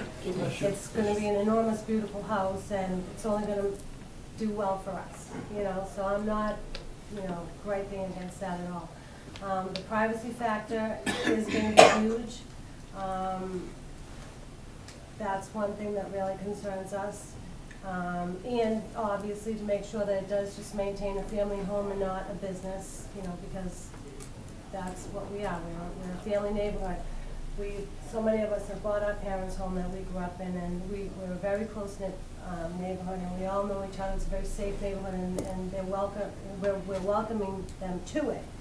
Um, so, you know, where we go from here, um, fully, you know, open to. Just, it seems like just a very, very big structure for the neighborhood. I'm not sure it really fits in uh, the rest of the. As a whole, but for, for, for, into- people in the family. So, that's all. I mean, there's plenty of neighborhoods in, in Reading that, you know, that looks great, Okay, thank you. Yes, sir. Did, did, did we swear you in? Seventy-one Cross Street, in Reading, across the street, I'm on. Okay, did I swear you in, sir? Yeah. Did you, okay. Yep, I've name, lived there for fifty-eight years, and I grew up there before those houses were even built, so I know what the, everything's like. And that particular house does get water, you know, when you get a bad rainstorm, it will get water in the basement and stuff, but whatever, it's- that's conservation still, but what my main concern is, like what Bob is, on any given night, I get up early in the morning, and I'll see anywhere from three to four company trucks parked on the front lawn. And that's, and I wanna build a garage someday too, and I wouldn't even think about putting up one that big up, so I, I have a feeling they're trying to run a business out of the house and keep all their, you know, their vans and stuff under the garage and store equipment. And the garage is probably twice the size of the house, you know what I mean? Mhm. Have you toured the property yet? yes, yes, I've seen it, yes. I, I don't know if other board members have, but generally, board members do go view the properties before we come to the meeting. Yes. That's just my main concern is running the business out of the house and putting up a big garage, you know, Right. close to Judy's house. Okay, thank you so much. Any other comments? If not, I close the public portion. That's all right, you can speak Can I- anytime, another yeah. comment? You're, the applicant, you you can certainly speak. For both the benefit of the board and the neighbors who I, and I do have to say, all of these neighbors have been very, very welcoming to us. Mhm. Um, it's quite clear when you come in that this is a neighborhood that's grown up together, and that's similar to a neighborhood that we moved in from. Um, but with regard to the, to the trucks, my husband does run his own business. He runs it out of Malden. He has an established office there. It's been there for ten years now. There are multiple trucks in the fleet. He will drive any one of them home on a given night, um, but never more than one. If maybe one of his guys is meeting them, him there in the morning because they're gonna get on ninety-five and go to a job site, that may be if somebody sees multiple trucks, but there's no intent to, to run the business from the house. This, this is our home. Um, the size of the garage, I think if, if my husband could have it, would have it enormous, boys and their toys and whatnot, but, um, but there's, there's no intent to run a business from the home. I'm under oath, I can tell you guys that, I can tell the board that if, if this raised any of those concerns, that's, there's no Okay. intent there, it's completely residential. Very good, thank you. I, I, I think maybe you've heard some of the concerns of the neighbors, maybe what they've seen and stuff like that. Uh, So you just may want to keep it in mind that, you know, you're limited to the, to the trucks that you can keep there overnight and stuff like that. Uh, So you may want to uh, check the bylaws on that with uh, uh, the officials downtown here, town hall. But, uh, Thank you. If I may again. Yeah, I've closed the public Oh, hearing, sorry. sir. Okay. Just want to comment on what she had just said. I'm sorry, I've already closed the public portion. She was responding. Thank you. She did, yes. Thank you. Uh, Okay, uh, any other comments from board members here uh, on this after hearing some of the responses from the town or whatever?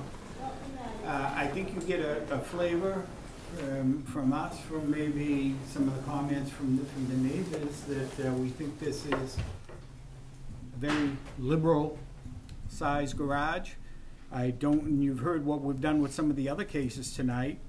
Uh, You have some options, we can vote on this tonight. I think you've heard what, the way the board members may feel about this. Uh, You could continue it to another date.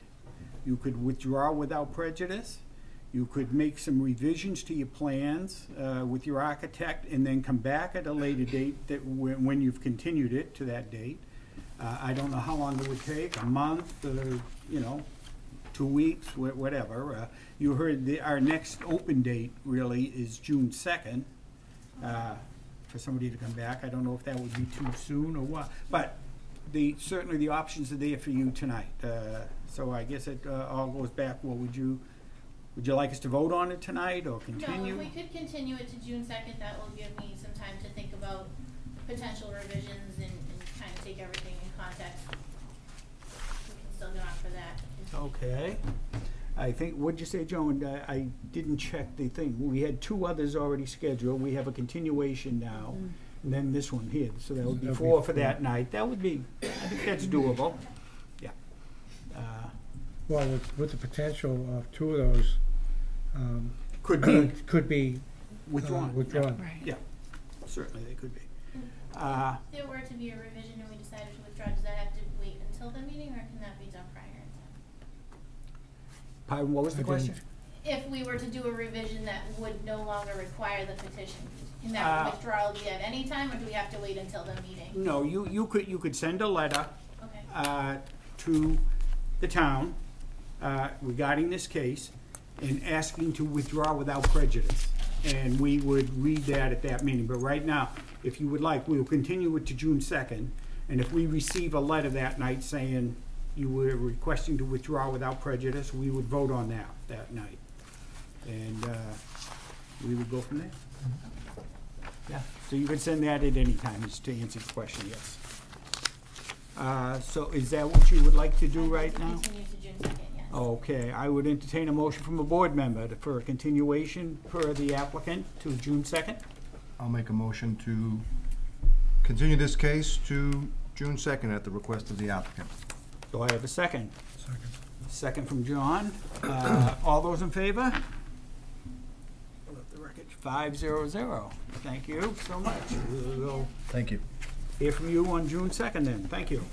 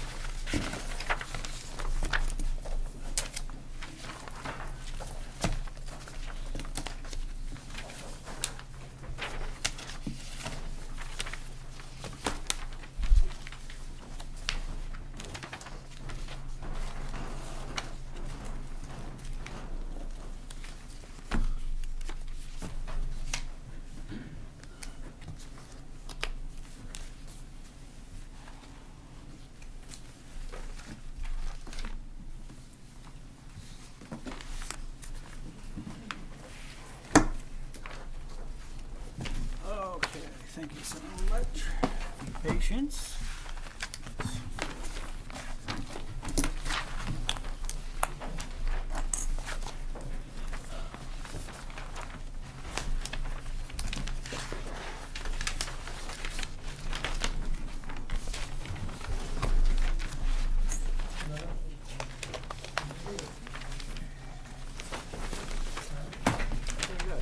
Uh, Kathleen, I didn't ask the last one, on the withdrawal that we had tonight without mm-hmm. prejudice, will you write that one up? I think you made that mm-hmm. motion, Yep. right? Thank you. Mm-hmm.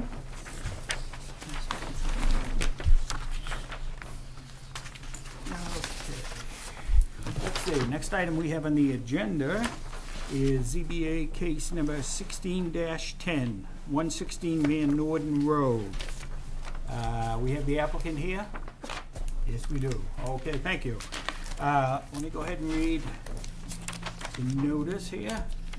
Uh, The zoning board of appeals will hold a public hearing in the selectmen's meeting room at the town hall, 16 Lowell Street, Reading, Massachusetts, on Thursday, May 19th, 2016, at 7 PM, on the petition of Jack Sullivan, who seeks a variance under section 6.2.1B, lot shape, of the zoning bylaws in order to create a buildable lot on the property located at 116 Van Norden Road in Reading, Massachusetts. Unless there is an objection, I will dispense with the reading of the abutters list, except to say that the abutters were notified, as were the following. Board of Selectmen, Town Clerk, Police Department, Fire Department, Building Department, Conservation Commission, Health Department, Assessor's Office, Engineering Division, CPDC, members and associate members of the Board of Appeals, as well as the planning boards of Wakefield, Lynnfield, North Reading, Stoneham, Woburn, and Wilmington. Testimony given before this board is taken under oath. So if you think you may want to speak tonight, please stand and raise your right hand, and I will swear you in. This is anybody who may want to speak on this uh, case tonight. If you don't, you don't. It doesn't hurt. I swear that the testimony given by me before this board will be the truth, the whole truth, and nothing but the truth. Sponsors, I do. Thank you. Jack? Thank you, Mr. Chairman. Uh, For the record, my name is Jack Sullivan. I'm owner of the Sullivan Engineering Group, and I'm accompanied by the property owners Fred Bonney and Karen Gately Herrick. Um, And as the chairman stated, we're here basically for, for one reason. We're looking to subdivide an existing property into a smaller buildable lot and a larger non-buildable lot. Um, Some background on this property, it's located within the S20 zoning district. Being such, you need at least 120 feet of street frontage and 20,000 square feet of land area.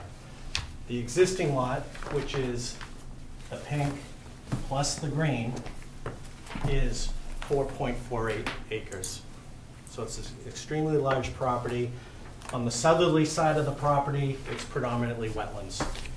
Um, Just so the ZBA knows, we currently have an NRAD in front of the Reading Conservation Commission getting approval for the wetland flags.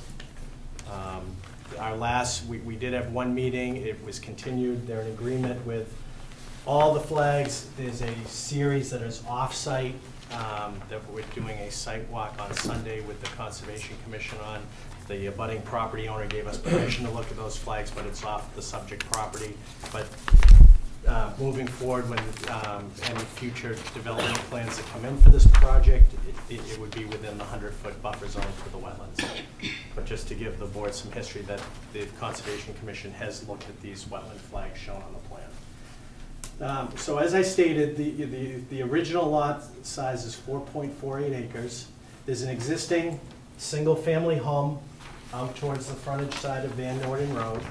This property also has some frontage on Harold Avenue, only a little over 78 feet of frontage on Harold Avenue. Um, What we're looking to do is, in the pink, cut off a, um, a lot labeled Lot A that is 20,240 square feet. Um, It has, it still has the same amount of frontage as it originally does, which is 120 feet. And it has uh, sufficient lot width, you need at least 80 feet, there's 81.37 feet, it can fit an 80-foot diameter circle within it. There's enough uplands, so the only reason we're here tonight is because of lot shape. Um, As you can see, and why I highlighted this lot is, um, under the first criteria for a variance, and we heard a lot about this through the previous three hearings, is you look at soil conditions, shape, or topography. This case, I have, I have two of the three. Uh, There's a lot of wetlands, but the real reason we're here is shape. I'm here for a, a a shape factor variance.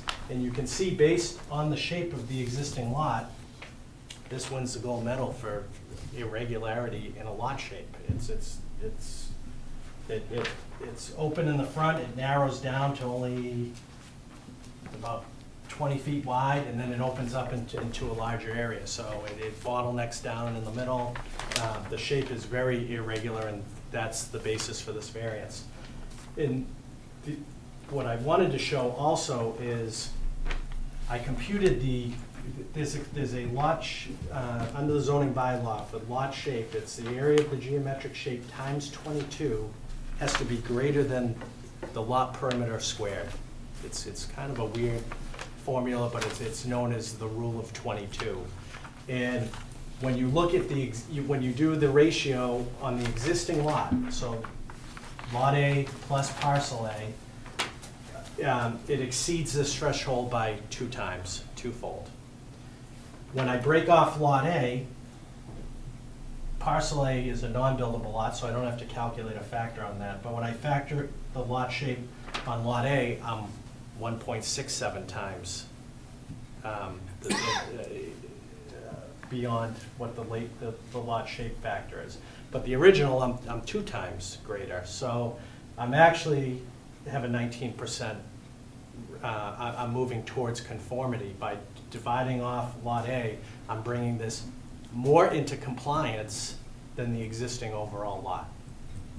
So that, that, that's one important thing for the board to realize. It, it might seem a little strange, but actually, by breaking this out, this lot shape is nineteen percent better than the overall lot shape, when you break the numbers out. Um, But that's really our whole case. I, um, the, the whole case i- is the shape. Um, As I stated, were in front of the Conservation Commission. Uh, We do have some plans, but the reason for breaking this out, um, they'd like to have the ability w- with this piece of land. um, They, there- there may be future plans that come in to look to develop this piece of property. It's not a secret at the Conservation Commission. We don't know the plans right now, but um, they may seek to develop that, and it gives some flexibility in um, breaking these two pieces apart. Um, That way, the- the front lot stands on its own, and then the back lot, we can pursue whatever permits we need to pursue with the Planning Department, Zoning Board, or the Conservation Commission, or all of the above. But tonight, we're here on this just to discuss lot shape. Okay. That'll present, that completes my presentation, and I'll gladly try to answer any questions you might have. Thank you, Jack. Uh, Let me, let me read Glenn's comment on this, and then I have a question back to Jack. Uh, Glenn noted, uh, this proposal is to create Lot A. And he says, "I'm not sure ZBA approval is required. It is of my opinion," that's Glenn's, or or the building inspector's, "that Lot A is not any more non-conforming than the existing lot. In fact, the new lot proposal appears to be moving towards more conformity." Uh, That, that, that was my whole point. I, I wasn't even sure we'd have to come to the zoning board, but when the owner submitted the plans, I think maybe Glenn felt it was best to, you you Yeah. know, he, he felt to, to be safe, come before the ZBA for your, your opinion as well. Okay, let me, let me ask this question. Jack, you were before us last year and withdrew without prejudice because there were, Ownership issues. yeah, there were ownership issues, tax issues, et cetera, associated. Have, uh, these been cleared up? Those, Uh, those were cleared out, or we wouldn't have this in front of you. Karen Gately Herrick became a co-owner of the property, that all the, all the back tax issues that existed before have been resolved with the town, and that allowed us to make this application. Right, right. I think we- Because technically, the town of Reading previously was the owner. I didn't know that, they, they Yeah. took it for tax title, but that's all been resolved, the That's ownership right. issues That's resolved. what we had heard that night, that the town had taken it for tax. Okay, so that's, this has all been resolved. All resolved. Okay. Uh, Comments from the board. Uh, Why don't I start with Si on this one? I tend to uh, almost rubber stamp what Glenn said, that, uh, you know, this is not any more non-conforming uh, than the existing lot, in my view as well, and uh, in fact, it is, seems to be more non-conforming, so I frankly don't have a problem with this. Okay. Nick? Yeah, I also, I don't see any issue with subdividing it, and just, just so I can see, there's still access to that parcel A lot, right, from, Correct. alright, yeah, I don't see any issues with it. Okay, thank you. David? Um, I echo what my four other board members had to say. I'm not sure why he's here, but we're glad that you're here. Kathleen? I agree. I have nothing to add. Thank you. Okay, John? Jack, enlighten me about uh, the difference between the board's acceptance of this as a, as a buildable lot in comparison to CPDC's um, ability to um, create this particular lot through an A and R. I mean, uh, to me, I- this board can't create the lot. Right. The only person that can do that, or the only board that can do that is CPDC. Correct. So you're before us on something that does not exist and won't exist until CPDC actually creates it. That's correct. So, assu- not to interrupt you, but if, uh, assuming we get a positive vote and we- we could get relief granted on the lot shape, then a subsequent Form A plan will be submitted with the ZBA decision granting the relief on the lot shape so that then the planning board can sign off for the, for the lot division. That begs the question though, what if they change it? That, my, my, that was where I was going, David. Yeah, who What goes happens, what happens if either conservation or CPDC decides that this is not what they want to do?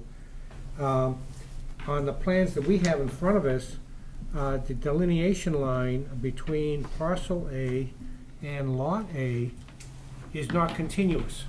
Correct. So you're saying right now that that's the way it exists, but what we have in front of us is not what we would have, be able to vote on, because it does not exist at the present time. We've already been in front of conservation with, with the wetland flags. The flags that are shown have already been adjusted. The- The plan that you have are where the flags are gonna be approved. Um, I guess what we could do is ask to continue this hearing until we get in front of conservation for a final order or, or in front of the, I, it's one of those cases, if I went to the planning board first and they say, you don't make lot shape, they'd kick me here. And so what I try to do is come here first, get the relief on the lot shape, and then the planning board, we're just going for an A and R, so they look at the frontage and lot area, they'll see the ZBA granted relief on the lot shape. That should be a rubber stamp. Um, We're not looking for any special development approvals for that. It's a simple Form A just to break the lot out, Well, if that answers the question. It it may not. over the years, and you have been around a while, Yeah. you notice that, you know that there's things that have happened in the past. So when one board approves something, it doesn't necessarily mean that everybody else is gonna fall into, into line and create the same thing. And the person of power, you might say, is not with this board, it is with conservation and CPDC. Um, I'm not gonna say I, I, I suggest we continue this if we're gonna move on it. Uh, I think that the number of conditions that we would have to impose to make sure that this is created, um, is something that we, we can't do because we, there's no potential line there to create the lot. The lot doesn't exist right now. So I, I really don't see how we can, Yeah. can move on it. But that's just, that's just one board member's, uh, opinion. It's not that I don't think that you qualify under the, Right. under the, the criteria, because you, you've in essence proven that. But we don't, we're trying to vote on something that doesn't exist. It's a procedural question. Should I be in front of CPDC first or I can't, you guys first? as one member, I can't even tell you that, but I would, Well, tha- that's a question, because until, if CPDC Well, endorsed the A and R plan, We're- we're- it still wouldn't be created, John, until I record the plan. correct. And, and. And I wouldn't record it until Till you I, get your, until I received the variance from you guys.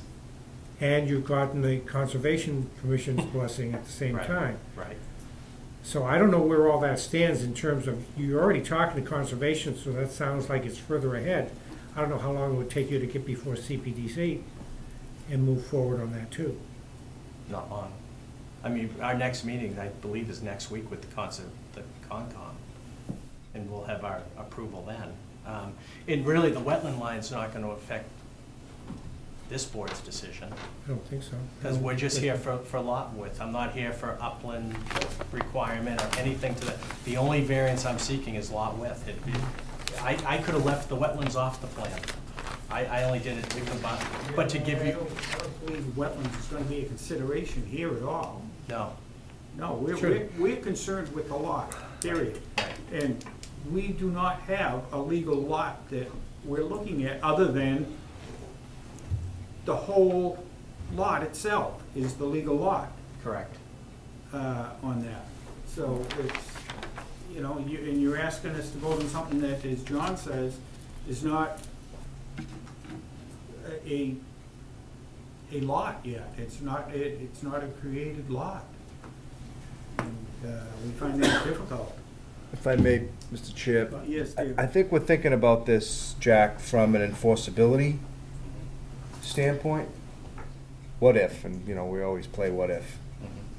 What if somebody challenges our decision right now? It's on a theoretical plan. How's he gonna stamp that plan hmm. where it's a theoretical lot? You can't record it Right.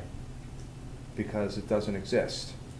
And so if somebody perhaps learns about it, gets a whiff and is aggrieved by it, what are they gonna appeal?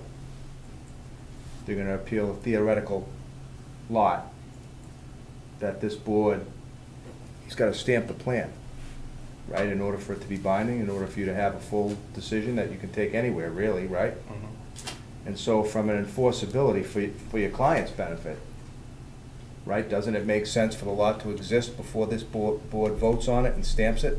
Because the plan is not, it's not official until it's created. Right, but in order to create it, I'd have to record it.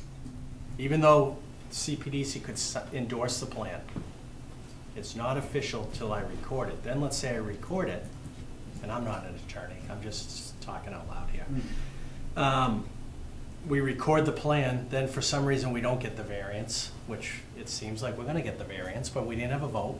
And then you guys say, no, no variance on that, then now we have a recorded, pl- it, it's, it's a problem. It, it- it's like a catch twenty-two. Yeah, it is. It's That's, like that's the world of, 22. of sub subdividing Right- right land. now- Right, Right now, you have a four acre plus, correct. twenty thousand square foot, uh, grand- grandfathered buildable lot, one grandfathered buildable lot. Once you start subdividing it, which we haven't seen, now you're, you know, talking if you subdivide it and you need a variance, you'll be coming back here and taking your chances at that time. I can't tell you any different. I, I see, I see the board's point. I see, it- it's, it's tough to vote on something that doesn't exist. Um, What we could do is continue this. I can get in front of the, I'll, I'll submit the plan to CPDC. They'll probably ask me, did you go to the ZBA? But at least I have the application in front of the ZBA and say I had one meeting, I can explain the situation and, and try to go from there. Worst case, the owner can seek advice of counsel and see how, procedurally how to do it as well. I'm, I'm not an attorney, I'm just the engineer. I don't, I don't know all the procedures inside and out, even though some people think I do.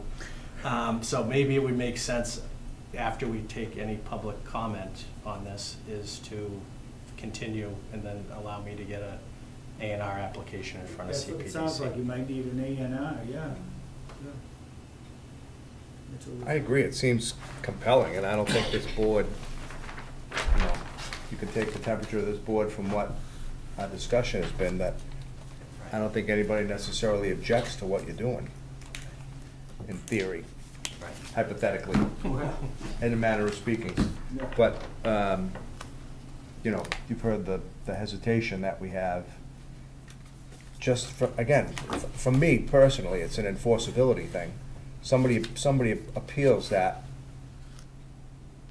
There's nothing to bind the town to the decision that we render. Plus, it'll have conditions that you have to, you know, a long list of conditions to jump through to get there.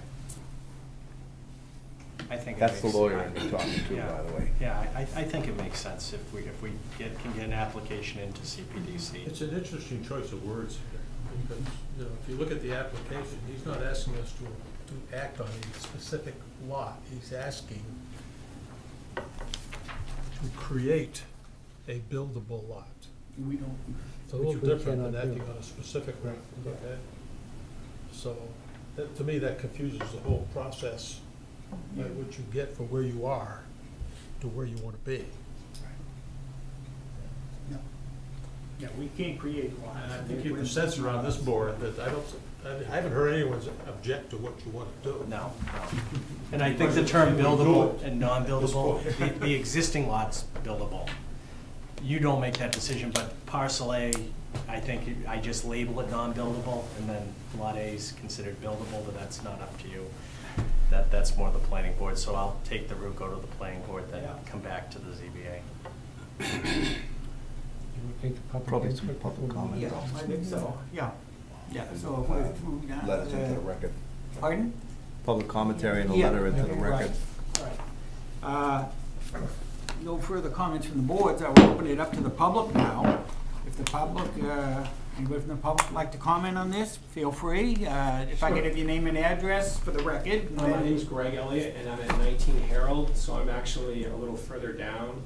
I'm not directly abutting this property, but, well, I am, actually, no, I- I'm on the Harold side. I'm not Yeah. directly abutting. But, um, one thing I don't understand is, a lot of this originally came about because I thought, and I'm sorry, I, I'm- I'm gonna ask some questions, and I'm not sure if there's some things I about don't this that I if don't we can answer them, yeah. And I don't know, but, um, this, originally this issue came up because it was my understanding that parcel A was going to be broken off and they were seeking to develop that property. And that's where a lot of the problems came from, and then that's where this process started. That was my original understanding. And then, um, so I don't, and then now it seems like we're looking to break off a separate parcel to build on that lot. And I, I guess I don't understand, um, the need for doing that unless they're, as, um, this gentleman just stated, currently right now, the, that pink area is buildable if it's part of the green, as it is right now. So if you wanna break it off, I don't, I guess, I don't understand why they would wanna break it off unless it's a first step to being able to access parcel A, which seems to be like it's non-buildable. So, um, and they've stated that it's non-buildable, but it seems like it's still for sale, so if you can't build on it, why are you looking to sell it? Um, so I, I don't understand and I'm just trying to get some clarification on it. I can, I can add a little to that, Okay. and it's gonna be brief. But the re, we're breaking this out, I have to label it as non-buildable, because as I stated, there's only seventy-eight feet of frontage on Harold Avenue. I need Mhm. hundred and twenty. So it's not buildable under current zoning. But there are, me- there are ways through the planning board to do a subdivision where you create a road, or there's some open space type developments um, where you don't need the hundred and twenty feet of frontage, but you'd have to build a, a common driveway, a subdivision roadway, things of that nature. Though, that's a direction we're gonna look at for that property moving forward. Has nothing to do with this board hearing, but since you asked the question, that, that's the plan. So lot A will give you that access to parcel, to, the lot- I guess lot A gives you that access to parcel A. Doesn't give me any access. Lot, Lot A will be separate. Lo- Take Lot A, if, if, when this gets granted and the CPDC signs off on the Form A, Lot A's out, and then the only thing we'd be dealing with is this green piece here. Okay. There'd be no access through. There's no access through lot A. to But I, I parcel. don't, I, I haven't gone through any sort of plans with that. This, these are some of the first steps you take in the development Okay. process. We've talked over some ideas, but we're still very early on. And besides conservation, this was our second step, but now we have a third step with the planning board and the A and R plan. And as more plans get developed, everyone gets noticed, just like they got noticed for this hearing. You'd be mm-hmm. noticed if we go, come back before ZBA with a separate application. Conservation Commission, planning, so there'll be plenty of public notice and, and discussion on. Thank you. Yeah. The house sits on, the the existing house is sitting on what they're calling Lot A right now. Correct. So that's already buildable. They want to detach that and move on with the rest of it, but they're two different situations.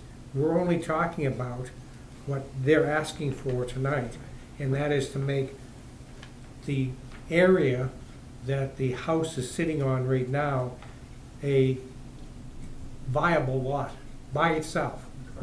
And then whatever happens on the rest of parcel A, that's for the future. That does not concern anything at the present time. Okay. That would have to come before whatever boards or whatever people down the line somewhere.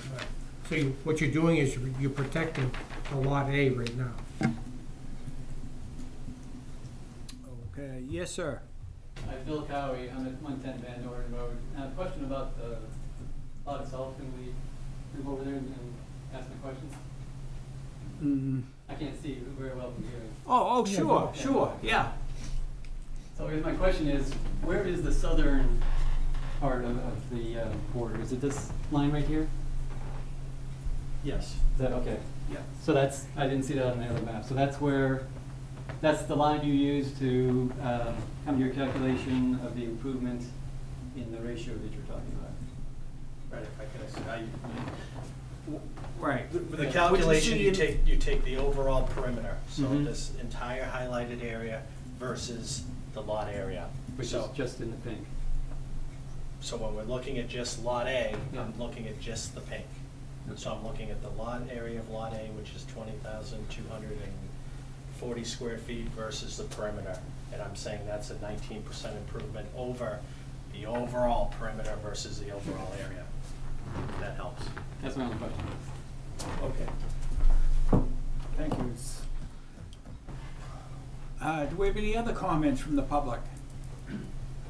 If not, I'll close the public portion of the meeting and, uh, sounded like you were looking for a continuation on this. We just, I, I don't see how we could vote tonight since we do not have a, a rec- a recorded lot to, to vote on, you know, uh, on this. Uh, And I think our next open date on this would be in July, Jack. I was thinking I wouldn't, I wouldn't be available for your next meeting in June anyways, by the time I Okay. get in front of CPDC. So I, I, if I could add, request to have your, your next available date, if that's in July, we'll, we'll take it. Yes. That'll give me time to close out with conservation and hopefully have a signed plan from CPDC. July June's 7th. Kind of booked up, right? Our June now is kind of booked up. Well, June's booked out. July 7th would be the first July date, our or first July meeting, 21st. Available meeting, next available meeting. July seventh. It's our only option, right? Okay, I just wanted to check with them and they're nodding, so Mhm. that's fine. July seventh? Yes. Yes, I, I did see this, we, we, the town, we did receive a, uh, rather lengthy letter, uh, from a, from, uh, excuse me, a Stephanie Dubanowitz and Alex Dubanowitz of, uh, seventeen Harold Avenue. Uh, Typically, I would read these into the records, but this may take some time, it's a two-page letter. But it's uh, certainly available uh, uh, down here at the town from the planning board if somebody would have wanted to read it, and I believe it would be available online also uh, on this. Uh, I think, uh, and I'll just read the last paragraph on it. This, again, this is uh, from uh, residents at 17 Harold Avenue. In summary, for the foregoing reasons they had noted, it is our hope that in consideration of proposed variance for the creation of Lot A, the board ensures that parcel A forever will be maintained as a non-buildable lot. That is out of our hands. You know, that, that's something that would be done with CPDC. And with, with Concom in regards to where wetlands are and things such as that on the lot. on that. So we will note this and we'll keep this in the project file. Uh, Did we come to a consensus on uh, the date? Uh, July 7th would be okay? That's okay. Okay. Make a motion. I would uh, entertain a motion to continue to July 7th. Make a motion that the board uh, continue the hearing on this matter to July 7th at the applicant's request. Do we have a second? I'll second time. Second from Si. All those in favor? Okay, let the record show five zero zero. We'll see, see you on uh, July 7th, Jack, hopefully. Thank you. Okay. Thank you. Thank you. Thank you. Continue to seven, seven, sixteen. And, oh, I, that's, uh, card out, and we also have some other business tonight. We have the minutes from the March seventeenth meeting which was the meeting on the uh, 40B, Reading Village. If you want to take a minute or two, to- or if everybody's read them already, uh, we can go from there. I just want to write this card out. uh, We read through, well, we had time to read through some of it at last meeting, but it was too loud to vote on it. Right. Got a little uh, boisterous at the end there. Hmm. Requested. Continue to.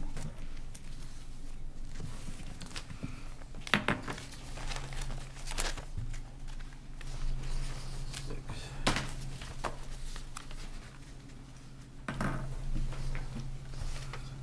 Bob, you and I got some press in the Chronicle arising out of, uh, Yes, last meeting. yes.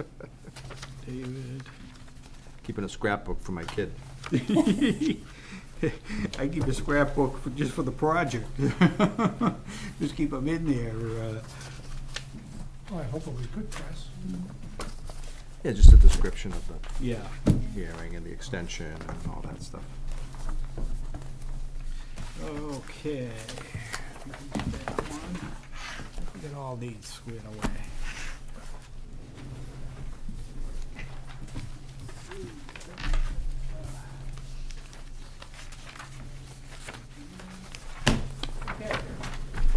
So we do have some minutes before us tonight. Uh, If everybody has had a chance to go through, and I think uh, one of the things that was added, since maybe we had received this the first time, correct me if I'm wrong, Kim, was uh, re- residents that attended the meeting were added, others present there were added to it uh, on that.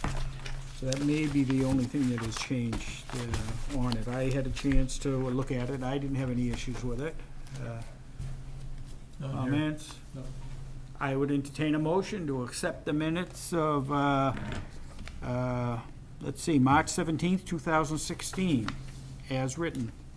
I move to accept the uh, minutes of the uh, zoning board of appeals meeting of uh, March seventeenth, uh, uh, as, as written. Do I have a second? Second from Kathleen. Any further comments from board members? If not, all those in favor? Let the minutes be noted as accepted. Thank you. Take those home and put them in my scrapbook. Bob, not on the agenda tonight, but something you and I spoke of at the end of the last hearing, given that our, our June meetings usually also uh, include a discussion regarding board organization for the upcoming fiscal year. Right. I have a wanted to leave it up to couple the of, uh, chair as to what date we wanted to have those. We have June second, where we have a number of hearings scheduled, or June twenty-third at the forty B Right. continuation.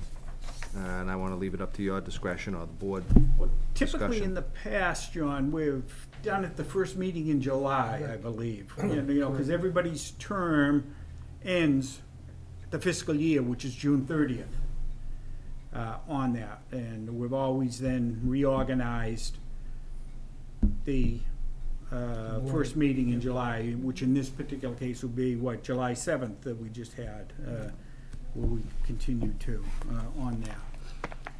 Uh, I know we have a couple of members whose terms are, are up for either renewal or for expiration on June thirtieth.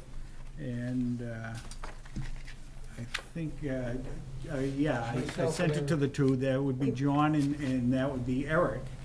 And, uh, I was forwarded from the town applications for their continuation, and I forwarded to them uh, on that. So I don't know exactly what their uh, intentions are right now, but we can wait. The wait. deadline was actually tomorrow, Yeah. Is it? Yeah. but they're not open tomorrow.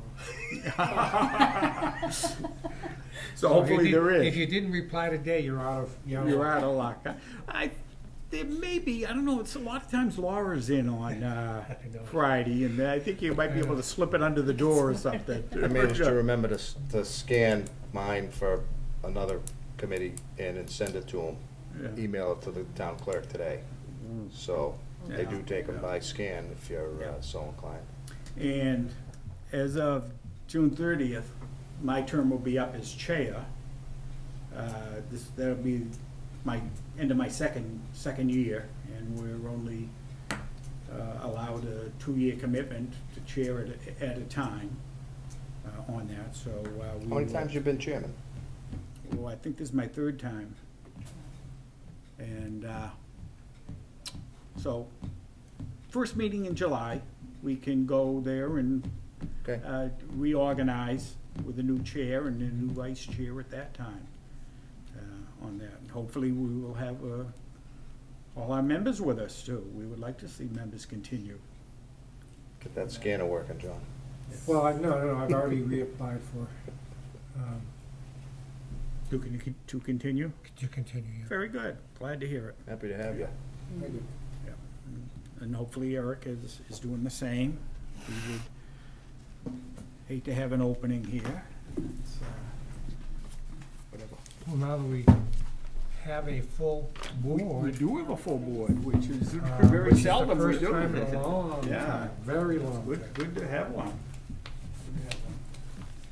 Okay, uh, if that's all, I would entertain a motion to adjourn tonight. So moved. So moved. Do I hear a second? Second. Second from Kathleen. All those in favor of adjournment? You can vote, Nick, on this one. I'll vote on this one. Not just Okay. another pretty face, Nick. Very good. Meeting is adjourned. Thank you.